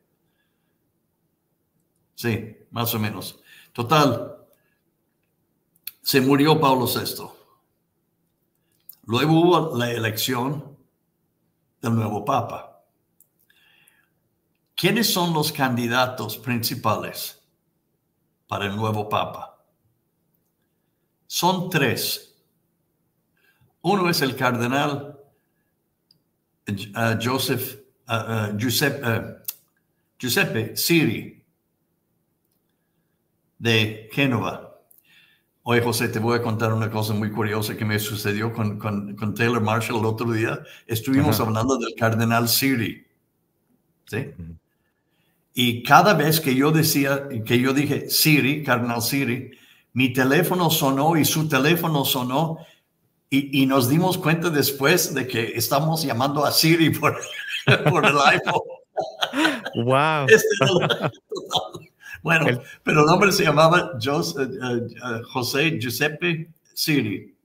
Siri. Un muy, muy buen hombre, muy conservador, que hubiera hecho mucho bien para la iglesia. ¿sí? Él era uno de los candidatos. Otro candidato era Benelli el cardenal mm. Benelli, que era secretario privado del Pablo VI, pero poco antes de morir, como te dije, yo estuve el, día, yo estuve con él, él y Ratzinger el día que lo hicieron, que los hicieron este cardenales. Eh, este día lo mandaron a Florencia, arzobispo de Florencia, pero como cardenal. Si el Papa no lo hubiera hecho cardenal, lo hubieran hecho pedazos después de la muerte del Papa, pero le puso en un lugar donde, donde tenía poder y podía seguir adelante. Bien. Entonces, Cardenal Siri y Cardenal Benelli. Pero había un tercer candidato curioso. Y el tercer candidato se llamaba el cardenal Sebastiano Baggio de la Congregación de Obispos. Él era el tercer candidato. En, uno, dos y tres, que tenían los votos, muchos votos para ser el próximo papa. Que es el masón. Es el masón, es el masón. Entonces, Benelli, sabiendo todo eso, lo opuso completamente. Pero Benelli no podía ganar ni Siri ganar, no tenían los votos suficientes. Y Baggio empezó a ganar votos. Entonces, el cardenal Benelli de Florencia anunció a todos los, a los cardenales votantes, dijo, yo propongo otro candidato, ninguno de nosotros tres. Yo propongo el cardenal, el cardenal Luciani de Venecia. Luciani, un hombre humilde, calladito, eh, el Papa de la Sonrisa, le llamaba así. Eh, bueno, así Papa Luciani. Entonces, Benelli dio todos sus votos a Luciani. Baggio perdió sus votos porque fueron a, Luciani. fue proclamado Luciani. Entonces, Benelli hizo que no ganara un masón como papa, que era Sebastiano Baggio. Tú sabes muy bien que esta es la segunda vez, bueno, la segunda vez que casi tuvimos un masón. ¿eh? ¿Te das cuenta? Con el cardenal Rampoli, Rampola, no sabía que fue elegido, fue elegido papa. Y el emperador de Austria tuvo el poder de voto, de, de, de, veto, de, parar, de, ponerse en contra. El, el, emperador de Austria opuso su elección. Era wow. había ganado la elección. Y de ahí, ¿en qué año? Cuando el emperador, cuando en, en 1900, 1905, porque cuando, cuando, cuando el emperador opuso su elección, fue elegido, no, no fue casi, fue elegido papa. El emperador opuso la, la, la, elección y ganó el cardenal uh, uh, Sarti, uh, Papa Pío X. Wow. ¿Eh? Pero fue elegido un framasón. Imagínate. Bien, bien. Así es que Baggio quería también ser el Papa y fue muy cerca de, de haber ganado. Si no, hubiera sido por la astucia de Benelli, que dio sus votos al cardenal Luciani de Venecia. Bien. ¿Seguimos? Entonces, eh. ganó eh, Luciani, que se convierte en Juan Pablo primero que muchos no lo conocen. ¿Por qué, es que, ¿Por qué será, padre, que muchos no conocen a este papa, Juan Pablo I? Porque duró, porque duró solamente 33 días. Wow. Madre Santa, a ver.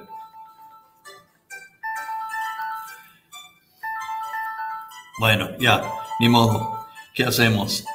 Eh, tengo el teléfono sonando y, y ya, ya, pero ¿Dónde estamos? Estamos que duró solo 33. Sí, ganó, ganó Luciani. Ganó Luciani y tomó el nombre de Juan Pablo I. Eh, Juan Pablo I siendo Juan de Juan 23 y Pablo de Pablo VI. Si gusta, padre, ¿quiere atender el, el teléfono o no? No. Es más, ah, okay. yo nomás decía me gustaría, me, gustaría, me gustaría saber cómo callarlo. como usted Creo ya me di cuenta. Ok, bien. Total, total, Juan Pablo I ganó. El, cardenal Luciani, que era de Venecia, ganó la elección, tomó el nombre Juan Pablo, eh, el primero con Juan Pablo, así es que Juan Pablo. Eh, bien, Cardenal Benelli, Cardenal Benelli, como era su amigo y que lo había, que lo había presentado como candidato y ganó, Benelli, el, el Papa nuevo, habló a Benelli y le, dijo, le pidió a, Benelli de ser su secretario de Estado. Que, que, hubiera sido fantástico. Benelli dijo, con mucho gusto, con mucho gusto. Después de que usted, Santo Padre, saque a Baggio de la congregación de obispos. Usted tiene que sacar a este hombre inmediatamente. ¿Eh? Sácalo y, muy bien. Y el Papa, que era bastante tímido, le contestó, no, no, no, no, no, no. Tú, eminencia, tú lo puedes sacar. Tú, siendo mi secretario de Estado, tú lo puedes sacar. Y dijo Benelli, no. Este va a definir todo tu pontificado. Tú lo tienes que sacar.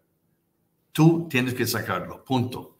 Para enseñar a todo el mundo que tú eres papa y que vamos en otra dirección. Bien, entonces Juan Pablo I toma el teléfono y manda llamar y llama al cardenal Sebastiano Baggio de la Congregación de Obispos y le dice, a ver, eminencia, ¿cuándo nos podemos ver? me gustaría hablar con, contigo. imagínate recibir una llamada del Santo Padre, del Papa. Wow. Baggio dijo que estaba ocupado. What? Estaba ocupado. El Papa le dijo, y en la tarde, hoy en la tarde, no, todavía ocupado. Tengo juntos con personas que vienen de todo el mundo y no puedo cancelar nada. Entonces dijo el Papa, bien, bueno, tú o yo, tú y yo, y o yo, también de nuevo lo hubiéramos mandado muy lejos. Pero este papa humilde, y Baggio lo sabía muy bien porque Baggio lo puso en su lugar, lo puso, no, lo fue, Baggio lo puso en Venecia. Esa, es otra historia larga. De todos modos, dijo, bueno, muy bien, y esta noche Ahora, me puedes decir que estás ocupado en la mañana, me puedes decir que estás ocupado en la tarde, pero en la noche, no estás ocupado en la noche, estás libre. Si, si estás ocupado en la noche, ¿qué estás haciendo? ¿Eh? Entonces, Baggio no tenía más que decirle que más que sí. Esta noche, pues, bien. Padre, eh, tengo entendido que para cuando el Papa Juan Pablo I, que estaba nuevecito, fresquecito, y manda llamar a, a Baggio, eh, él ya tenía en su poder la investigación del cardenal Gañón, donde se... Oh, absolutamente. No, no, no, no, absolutamente. Perdóname. Sí, absolutamente. Es que, mire, ¿sabes qué, José? estoy, estoy contando esta historia tantas veces que yo mismo, yo mismo este, me hago bolas también fuimos y, presentamos los resultados de la dossier, dossier Gañón se llama, a Juan Pablo I. Él lo aceptó. Lo aceptó y, luego habló con, con eh, Benelli, que Benelli también, también sabía el, contenido de, de, todo el estudio que hizo Gañón. Y el Papa ya sabía quién era quién. Es más, José, bueno, no, no me voy a adelantar. Vamos, vamos por partes. Okay. Entonces, Badge, eh, el, el, nuevo Papa sabía el contenido de la investigación de Gagnon y sabía que tenía que quitar a Baggio inmediatamente. Porque no puede, ¿cómo vas a tener un masón nombrando los obispos del mundo? Pues así estuvo por muchos años. 12 años, casi 12 años y en años críticos, críticos, críticos. Bien. Y, y muchos de los más liberales fueron ordenados en los, eh, cuando tenían 40 años de edad. Así es que iban a durar 30 años casi. ¿eh? Bien. Total, el Papa manda llamar a Baggio, en la mañana no puede, en la tarde no puede, en la noche sí puede.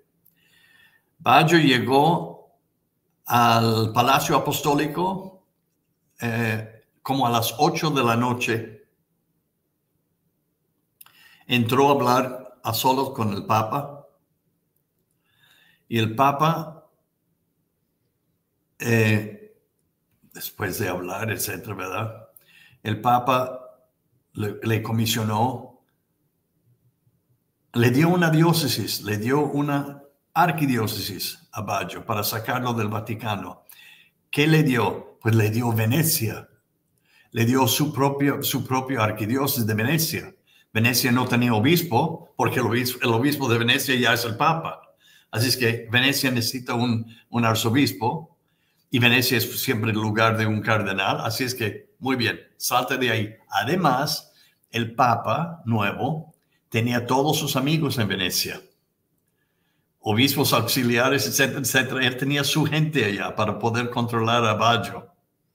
Mm. Hasta, hasta, hasta Baggio cumplir los 75 años de edad y adiós Baggio. Y ya estaba controlado. Baggio absolutamente negó esta, esta, este, esta invitación. No, yo no voy. José, ¿te imaginas en primer lugar decirle al Papa que estás ocupado, no puedes ir? Y luego después le dices, no, no, a, lo que tú me estás mandando a Venecia, yo no voy, yo me quedo aquí en el Vaticano. Pues claro que se quedaba ahí en el Vaticano porque era el, puesto de, lo, de más importancia en el mundo, ¿sí? creando los, los obispos. En otras palabras, Entonces, eh, entonces Bayo empe- no le gustó ¿Eh? la promoción, no le gustó la promoción que le querían hacer. yo, yo creo que es, yo creo que es seguro decir que no le gustó.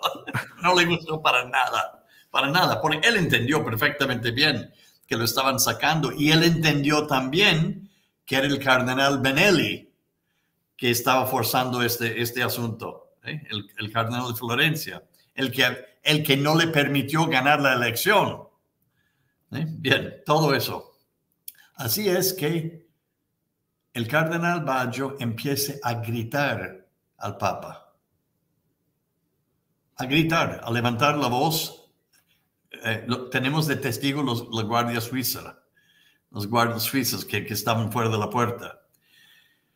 Levantó la voz, levantó la voz, levantó la voz. Los dos estaban hablando. No entró la guardia. Yo, yo no sé por qué no entraron, pero, pero el Papa está con un cardenal, están, eh, están, en- están gritando. No, no lo tomaron como cosa de, de peligro ni nada. Después salió Baggio. Yo iba, yo iba a usar una palabra que no se puede usar. Enojado. Ok. Muy Iba a enojado. usar la de la cabra, la cabra grandota. Sí, eh, sí, exactamente. En, en, encabrada. Encabrada. Sí. Me cuesta decirlo bien. Eh, eh, eh, enojadísimo salió. Pocas horas después, quizá dos horas después, se muere el Papa. La última persona con la cual había hablado era con Baggio. Pocas horas después está muerto. Está muerto. Eh, luego empieza toda la intriga de cómo murió, etcétera, etcétera. Cambiaron el cuerpo del Papa. Era un desastre. Era un desastre. En el Vaticano no pueden hacer nada, nada aparente, nada sencillo, nada abierto, nada transparente. Todo todo así, así. Dicen, salió el reportaje, yo me acuerdo que era co- como las siete y media de la mañana y me despertó un amigo mío seminarista de- de Costa Rica, fue a la casa libanesa para decirnos que el Papa se había muerto. Yo pensé que estaba, que estaba, estaba loco, estaba, estaba hablando del Papa Pablo VI, que un mes antes se había muerto. No, era este. Bien, la dijeron que el Papa se había muerto leyendo la imitación de Cristo. Esta fue la primera historia. Estaba leyendo una, un, un libro piadoso, eh, La imitación de Cristo. Ah, pues qué bonito, el Papa murió leyendo la, la- la- la imitación de Cristo. No, no. Murió con unas hojas en su mano.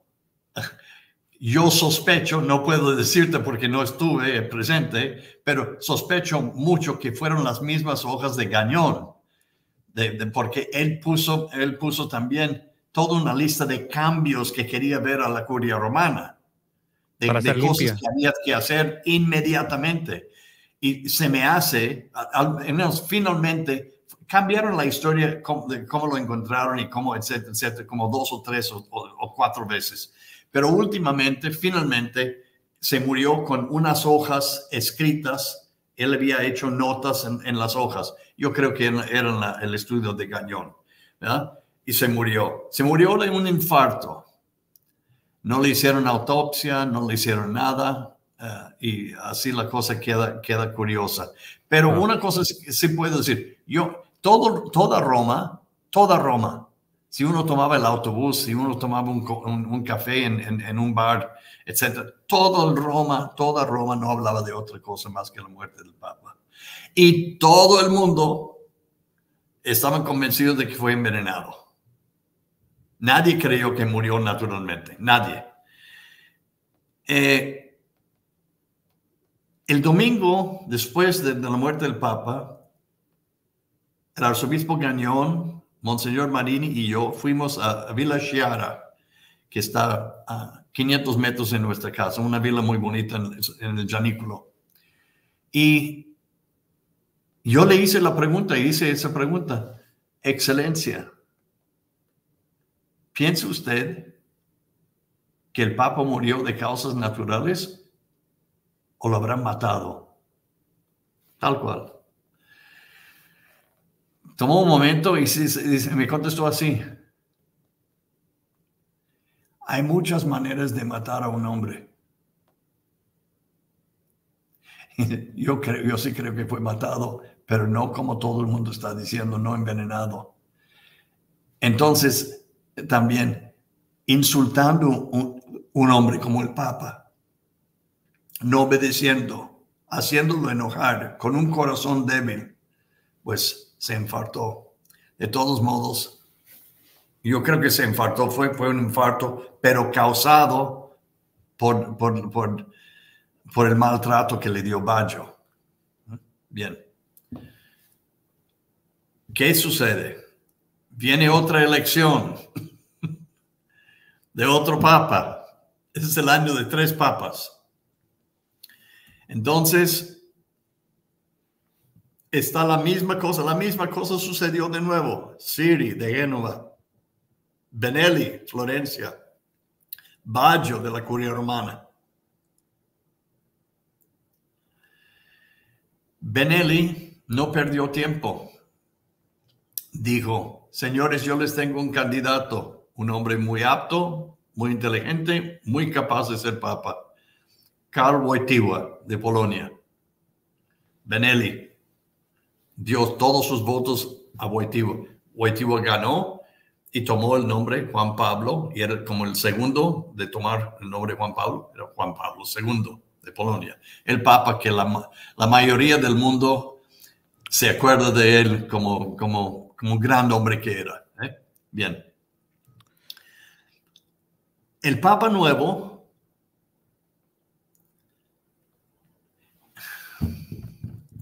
¿Cómo decirte eso? Aquí estoy yo con el Papa Nuevo. Yo creo que tenía, tenía unos días. Este, fue, este, recién elegido. Fue unos, unos días. Y yo estuve trabajando en el Vaticano en aquel entonces. Y vino, vino a, visitar nuestra oficina y tuve la chance de hablar con él.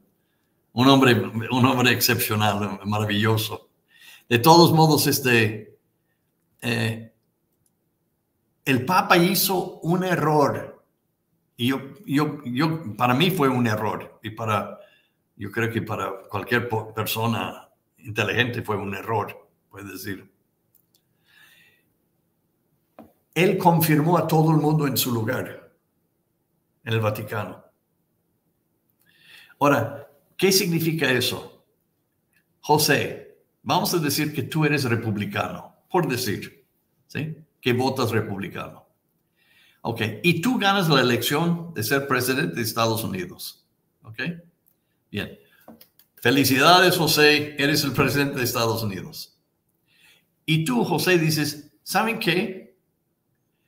Yo, por el bien de la paz y para enseñarles que no hay malos eh, entendidos ni malos sentimientos ni, ni mala sangre, ¿verdad?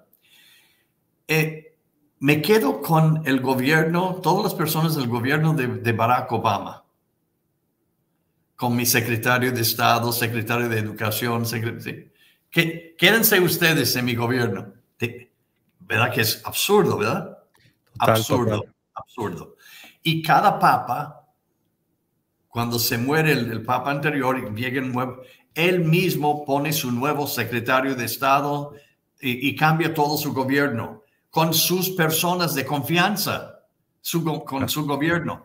El Papa Juan Pablo II dejó a todo el mundo en su lugar. Wow. Quédense. incluyendo, incluyendo, incluyendo, a Sebastiano Cardenal Baggio, sí. Muy incluyendo a él, muy incluyendo a él. Nadie lo podía creer, nadie lo podía creer. Y sobre todo, Gañón estaba Estaba, que no lo podía creer. Total, sucede lo siguiente. Benelli le está diciendo al nuevo papa, tienes que llamar al cardenal, al, arzobispo Gañón para que te presenta el dossier, el reportaje sobre la, la curia romana, porque tienes que entender quiénes son tus personas, las personas a tu alrededor, en tu gobierno, y los cambios que urgen hacer, Santo Padre, le dijo Benelli. Pues no tenía tiempo el Papa, porque no le importaba tanto el gobierno central de la iglesia. Él no era un hombre que se iba a quedar en el Vaticano y preocuparse de cosas de, de, cosas de gobierno, etcétera, etcétera. Él tenía otro, y no lo estoy criticando, para nada lo estoy criticando. Su visión, su visión del pontificado era predicar a Jesucristo al mundo. ¿Ok? Muy bien. No era, no, no hubiera sido mi misión, pero era su misión y él era el Papa. Así es que empezó a viajar. Y lo que nadie entiende, Juan Pablo II hizo 104 viajes en su, en su pontificado. Muchos de esos viajes requerían dos meses, a veces tres meses de preparación. Él no, no, no se metió en el avión y, y, nada. No, llegó a cada país, a cada parte del mundo, conociendo los nombres de los obispos, algo de todo sobre sus diócesis, los religiosos que estaban ahí, todo quería saber, más la lengua. Tenía que aprender portugués, ah, lenguas africanas, orientales, etcétera, etcétera, al menos para leerlo. Entonces tenía, tenía eh, tutores allá todos los días con él, ayudándole a pronunciar y poder leer su mensaje para la gente. Así es que su tiempo era concentrado en sus viajes. Bien. Y el Vaticano, pues que el Vaticano se puede manejar solo. Bien. Finalmente llegó el día por tanto insistir el, el cardenal Benelli, finalmente llegó el día que el Papa mandó llamar al arzobispo Gañón para ver su estudio sobre la curia romana. De nuevo, Gañón me pide el favor de llevarlo al Vaticano. Vamos la tercera vez. Lo llevo al Vaticano, sube de nuevo al elevador, habla con el Papa. Uh, y en poco tiempo baja de nuevo y desanimado, desanimado. Y no solamente desanimado, enojado, muy molesto. El cardenal Gañón tenía una manera cuando se enojaba, eh, era visible en su cara. Entonces empezamos a regresar a la casa y finalmente le pregunté, ¿y, qué tal le fue? Dice, no quiere saber nada. Dije, ¿cómo que no quiere saber? No, no quiere saber nada. Nada. Él tiene otro plan, otra visión, etcétera, etcétera. La iglesia puede manejar en ese nivel solo y los hombres que están en su lugar, que se queden en su lugar. Que no, no puede ser, no puede ser posible. Sí es posible. Bien. Ahora, escúchame bien. Cuando le presentó todo esto, le dijo también, Santo Padre, tiene usted un cardenal encargado de nombrar los obispos del mundo que es un masón. Yo supongo que en Polonia también los masones están prohibidos, están excomulgados. Usted tiene un hombre nombrando sus obispos en todo el mundo que es masón. No va a hacer nada ahí. Bueno, tenemos que ver, no hay que hacer esas cosas en prisa, con prisa. Muy bien. Dice, mire, Santo Padre, el Banco del Vaticano está para explotar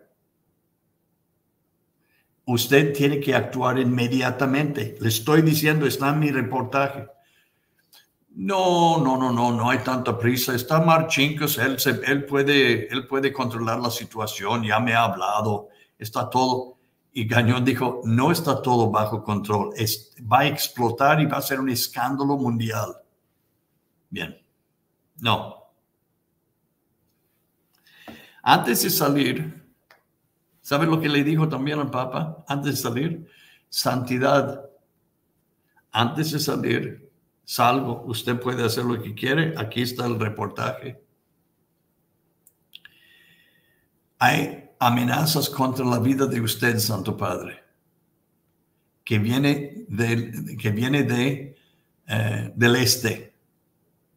No dijo Bulgaria, Romania, Rumanía, algo, uno de esos países. Dice, pero hay reportajes de, desde Rusia, sus planes para matarle a usted. Y dijo el Papa, eh, me acuerdo, me acuerdo como si fuera ayer, y le ¿y qué dijo? ¿Cómo respondió? Dice, dice, me respondió, dijo, ¿quién va a querer, a, quién asesinará, quién matará al el Papa, el, obispo de Roma? Nah. No, no. Bien.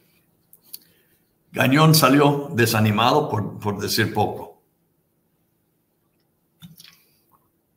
En el camino, regresando a la casa, me dice, ¿qué haces eh, mañana?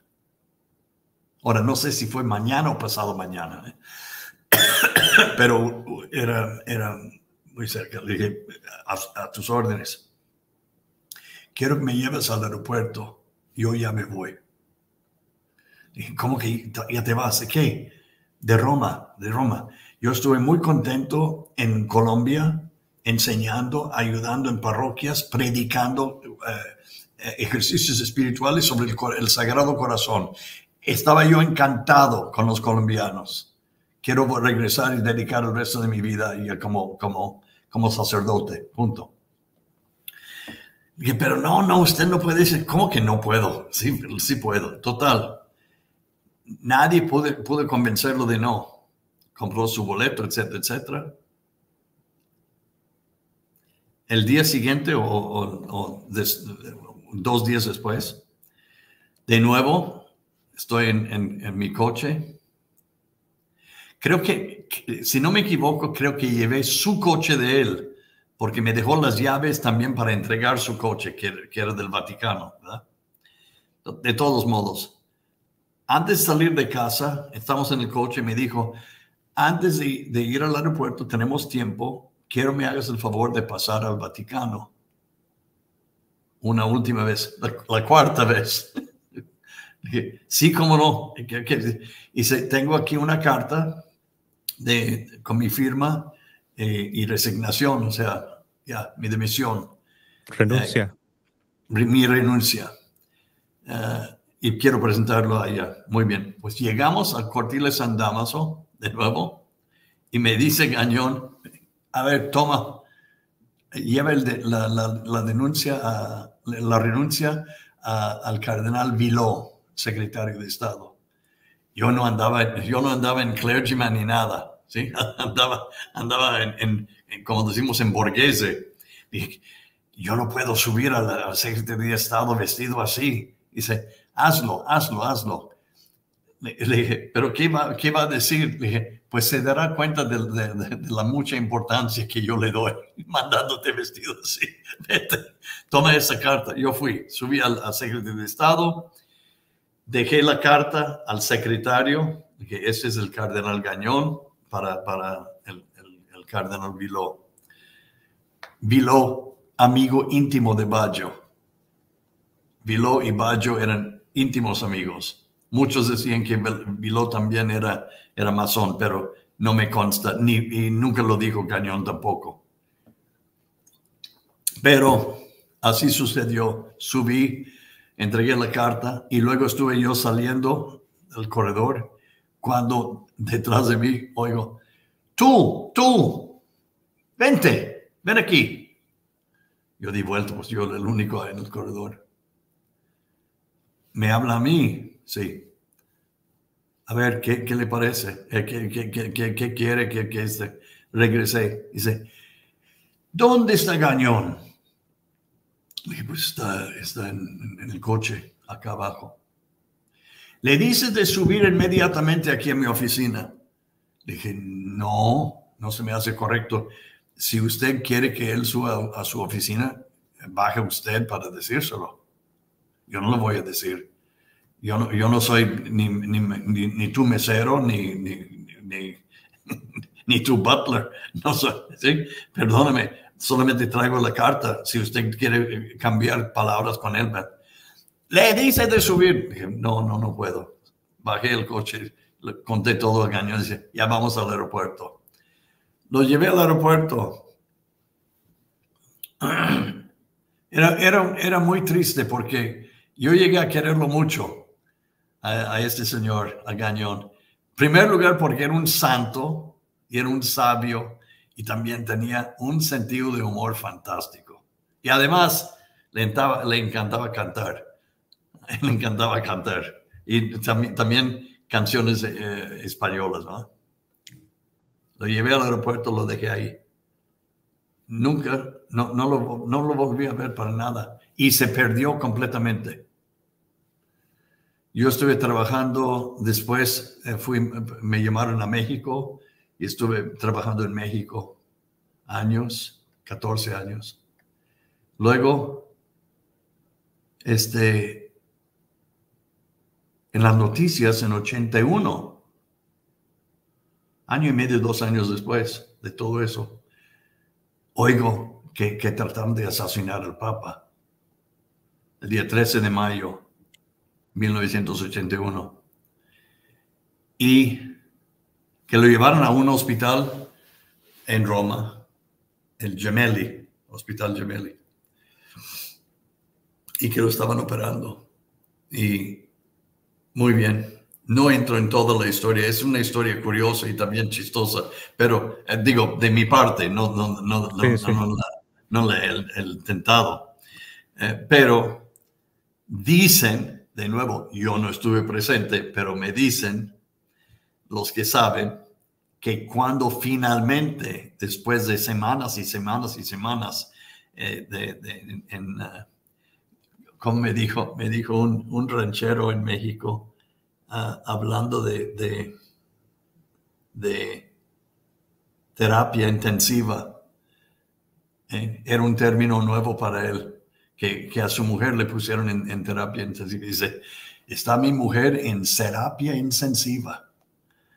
En terapia, en, terapia, intensiva, sí, terapia intensiva. Bueno, el Papa estaba en, en terapia intensiva. Finalmente, cuando salió, tomó conciencia de nuevo Dicen que sus primeras palabras eran, ¿dónde está Gañón?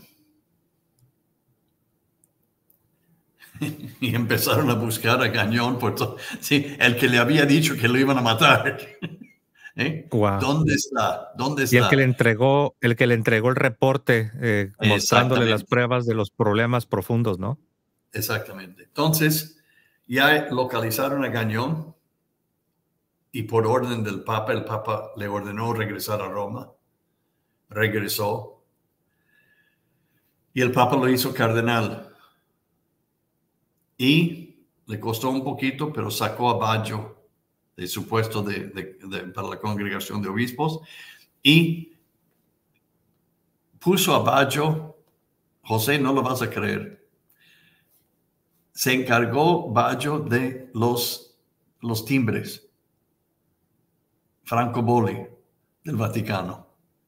Él, era encargado de, los timbres, de los timbres que se ponen en, el, correo. Sí, de nada, para tenerlo ahí visible 100% del tiempo, sabiendo dónde estaba y con quién estaba hablando, etcétera, etcétera. Y luego se murió. Puso a Gantín en su lugar y el Papa nombró, al salir del hospital, nombró secretario de Estado al cardenal Benelli, el que lo había hecho papa. Finalmente lo llamó de, Florencia y, le, preguntó si aceptaba la el cargo de, de secretario de Estado, encargado de todo el Vaticano, dijo que sí. Y el cardenal Benelli, a los 61 años de edad, completamente sano y salvo, eh, se murió pocos días después de un infarto, dice de un infarto. 61, 61. 61. ¿sí? Así es. Ah, pero así fue la, historia de sacar. bien. Y el Papa, vamos terminando esto porque pobre, eh, ya están Esto le iba a decir que no quiero abusar de su, de su voz y, tendremos tiempo para una segunda parte. ¿eh?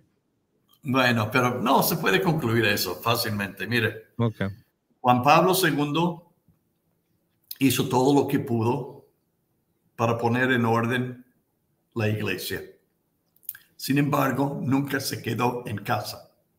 Nunca se quedó en casa. Y como dice el refrán, eh, mientras está fuera el gato, bailan los ratones. Bien, y así. Así aprovecharon mucho de, de su ausencia y sus ausencias eran, aplaudían. Otro, otro viaje, Santo Padre, ah, qué bueno. Bien hubo, la explosión del, y el escándalo del Banco del Vaticano, tal como había dicho Gañón. Exactamente todo. Bien. Eh, pero Juan Pablo II también trató de reformar la liturgia, trató de reformar, eh, poner en orden muchas cosas. Dio permiso a los sacerdotes finalmente a celebrar la misa tridentina el indulto. El indulto. El indulto, que, que fue prohibido desde 1969. Prohibido. Dicen que no, pero créeme que sí estaba prohibido. ¿eh? Sino que le pregunten al arzobispo Marcel Efef si no estaba prohibido, ¿no? ahí está, ahí está. Y pues bien, bien. Las cosas, este, las cosas también son así. Mire, solamente les dejo con esto para pensarlo bien. Hubo un libro escrito por una mujer muy inteligente, muy capaz. Eh, su nombre es eh, Julie Meloni. El libro es La mafia de San Galen. Sí lo has leído, ¿verdad? Eh, de hecho, apenas he comenzado porque había escuchado demasiado, pero al principio pensé que tal vez se trataba de alguna teoría de conspiración, pero ya cuando investigué me di cuenta que de conspiración no tenía nada y por eso compré el libro y apenas he eh. comenzado a leerlo. Pues te va a gustar mucho y, vas a aprender mucho también. Ella es muy seria. no, no, es, no está escribiendo cosas para escándalo ni nada así. Nomás después de mucha investigación y seriedad. Ella escribió sobre la mafia de San Galen. San Galen es un lugar en Suiza es una ciudad pequeña en Suiza.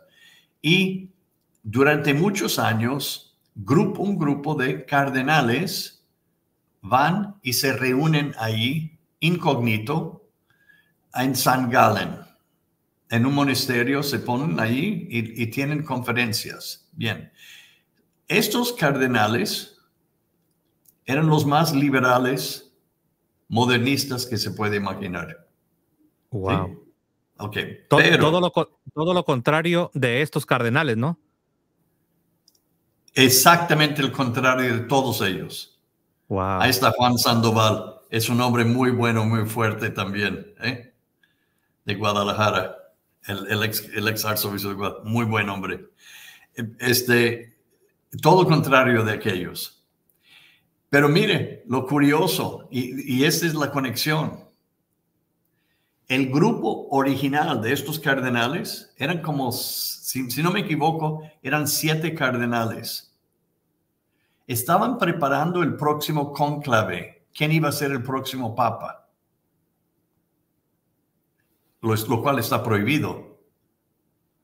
Está prohibido por derecho canónico y por, el Vaticano. No se puede hacer política en este sentido. Ellos no les importaba, lo hicieron. Cada año se reunían ahí. Y todos aquellos, todos los originales, fueron hechos arzobispos y cardenales. ¿Por quién, José? ¿Por quién piensas tú? Sí, señor. Sebastián Cardenal Baggio. Los que fundaron la mafia, y ellos se, llamaban la mafia. No, fue impuesto el nombre. Eh, ellos mismos se llamaban, nosotros somos la mafia de San Galen. Ah, muy bien. Pues los miembros originales, todos fueron hechos arzobispos a lugares, y, entiende la política, la movida esta. Yo te nombro arzobispo de, la Ciudad de México. Yo salgo eh, nombrado el arzobispo de Nueva York. ¿Ok? Dentro de un año, por ser de México y Nueva York, tú y yo somos cardenales automáticamente. Bien. Entonces, cuando Sebastián Baggio nombraba arzobispos a diferentes lugares, él también estaba nombrando los cardenales que iban a estar votando en el cónclave. ¿Me doy a entender? Sí, preparando, preparando el camino. Preparando el, el, próximo, el próximo papa. Bien, entonces, los originales de la mafia de San Galán que tenían, empezaron esta cosa de modernistas para tomar control de la iglesia, todos fueron nombrados por Sebastiano Cardenal Baggio. ¿Eh? Bien, eligieron, eligieron a Ratzinger. Salió elegido muy en contra de ellos muy en contra de ellos en 2005. Ratzinger no lo querían para nada, este grupo, y le hicieron la vida imposible. Porque ya lo veían como traidor, lo veían ya como traidor porque Ratzinger tuvo una conversión. Así es. Y Ratzinger fue un hombre, un papa brillante, hizo algunos errores también, ok, lo entendemos, todos somos humanos, pero con una teología muy buena, muy sólida, etcétera, etcétera, y andaba tratando de limpiar casa lo más que podía. Pero acuérdate, tener toda esta gente, este, este, este ejército en tu contra, no es, nada, no, es nada fácil. Y no sabes con quién estás hablando, con amigo o enemigo, todo el santo día. ¿Bien? No, no, no, no, no, hay mucha política. Bien, finalmente le hicieron la vida tan imposible que renunció. Renunció, no, no podía, no podía seguir adelante. ¿Y, quién, y, quién, quién entró para tomar este vacío que dejó él? El Papa Francisco. Bendito Dios. El arzobispo Jorge Mario Bergoglio de Buenos Aires se convierte en el Papa Francisco y eh, es, y, candidato, candidato Jorge, eh, perdón Jorge, ah, José, candidato de quién? De la mafia de San Exactamente. son, eh, no es secreto, ¿no? Que todos los, si uno analiza la lista de los cardenales que estaban en esas reuniones, que como usted lo dijo, este no es el apodo que nosotros les dimos a ellos. Ellos se describían a sí mismos como la mafia de San Galen eh, pues sabemos que están eh, muy cerca, tienen una amistad, tienen lazos fuertes. Eh, wow. pues miren, yo sé que, como dijo el, el, padre, ese es un tema largo, pero yo, padre, en los últimos días he estado cubriendo las cosas que se están viendo en nuestra iglesia, hablando de las consecuencias, lo que le llaman intercomunión, permitir, permitir que los protestantes tengan acceso al, al, sacramento del altar, lo que le llaman intercomunión, eh, pues ya vimos lo que pasó en Roma, padre, cuando llegaron los anglicanos a usar los altares, que sabemos que los anglicanos ordenan a mujeres sacerdotisas, mujeres obispas.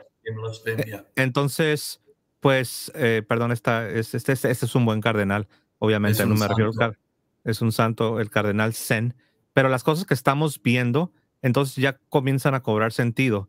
de hecho, no sé si se enteró, padre, yo cubrí aquí lo que fue el, el disque, entre comillas, arzobispo de Canterbury, Justin Welby. Justin Welby eh, hizo supuestamente una, una comisión junto con el Papa, donde supuestamente están comisionando tanto a obispos católicos como obispos anglicanos, incluyendo obispas, eh, para que vayan. Obispas. Sí, sí, para que vayan a predicar el Evangelio y, y se dijo, se dijo públicamente, ¿eh? se dijo que teníamos supuestamente el mismo Evangelio y que estábamos unidos y que debemos ir juntos a predicar el Evangelio cuando ya sabemos todas las cosas que aceptan Es, los... es una mentira, es una mentira pura. Sí, Es una mentira. entonces, wow, tremendo. Padre, a nombre de toda la audiencia, a reserva de que quiera decir una última, eh, Una, última, una palabra. última cosa te, te digo para terminar, José, solamente esto. Quiero decir a todo el mundo que el desastre en lo cual la iglesia se encuentra hoy no surgió de la nada. Fue planeado durante años, años, años y está explotando todo el plan de los modernistas desde hace más de un siglo. ¿eh? Este no es nada nuevo, nada nuevo. Pero ya es hora. y- mira, yo sé que me van a cortar la cabeza uno de estos días, ¿eh? de verdad. No, no me van a aguantar, no me van a aguantar. Ya me, ya me han llegado algunas amenazas de decirme de callarme, ¿sí? Pero yo sé que lo que me da mucho gusto es que el pueblo de Dios, el pueblo de Dios, está, está despertando. El mismo pueblo se está dando cuenta de que las cosas no andan bien. Un ciego lo puede ver. Un ciego lo puede ver ya. Y esto me da mucho gusto, porque ya no pueden engañar, ya no pueden engañar. Si todo el mundo se da cuenta de lo que está pasando, ya no pueden engañar. Y el mundo, se está, el mundo católico está despertando. Eh, Ojalá, ojalá y que no sea demasiado tarde. ¿Eh? Ojalá y que no sea demasiado tarde. Pero Sí. ¿sabes qué? Tenemos la palabra de nuestro Señor que no es demasiado tarde. A veces me desespero yo mismo que, que viendo la- el desastre que están las cosas y que tenemos uno que nos está guiando tan profundamente mal en dirección muy equivocado y enemigo de todo lo que es la santa tradición católica, cerrando esto, prohibiendo el otro, pa, pa, pa, Bueno, ¿dónde está la misericordia tú, José? ¿No que era gran misericordioso? No, mm. no, no. Es, es absurdo. No. Pero yo invito al pueblo de Dios de despertar y de ver lo que está pasando y de defender la iglesia que todos amamos, de defenderla. Ya, ya tu madre, tu madre te necesita. Tu madre Sí. te necesita. ¿ok? Fuimos, Una, última, una, una última cosa, prometo esto. Una claro, cosa que aprendí mucho en México, podías decir lo que tú quieres en contra de un hombre, pero al insultar a su madre, Eh. esa era cosa muy seria y imperdonable. Pues están insultando a tu madre, a tu madre, directamente en cara. Y, y despiértate, despiértate, por favor.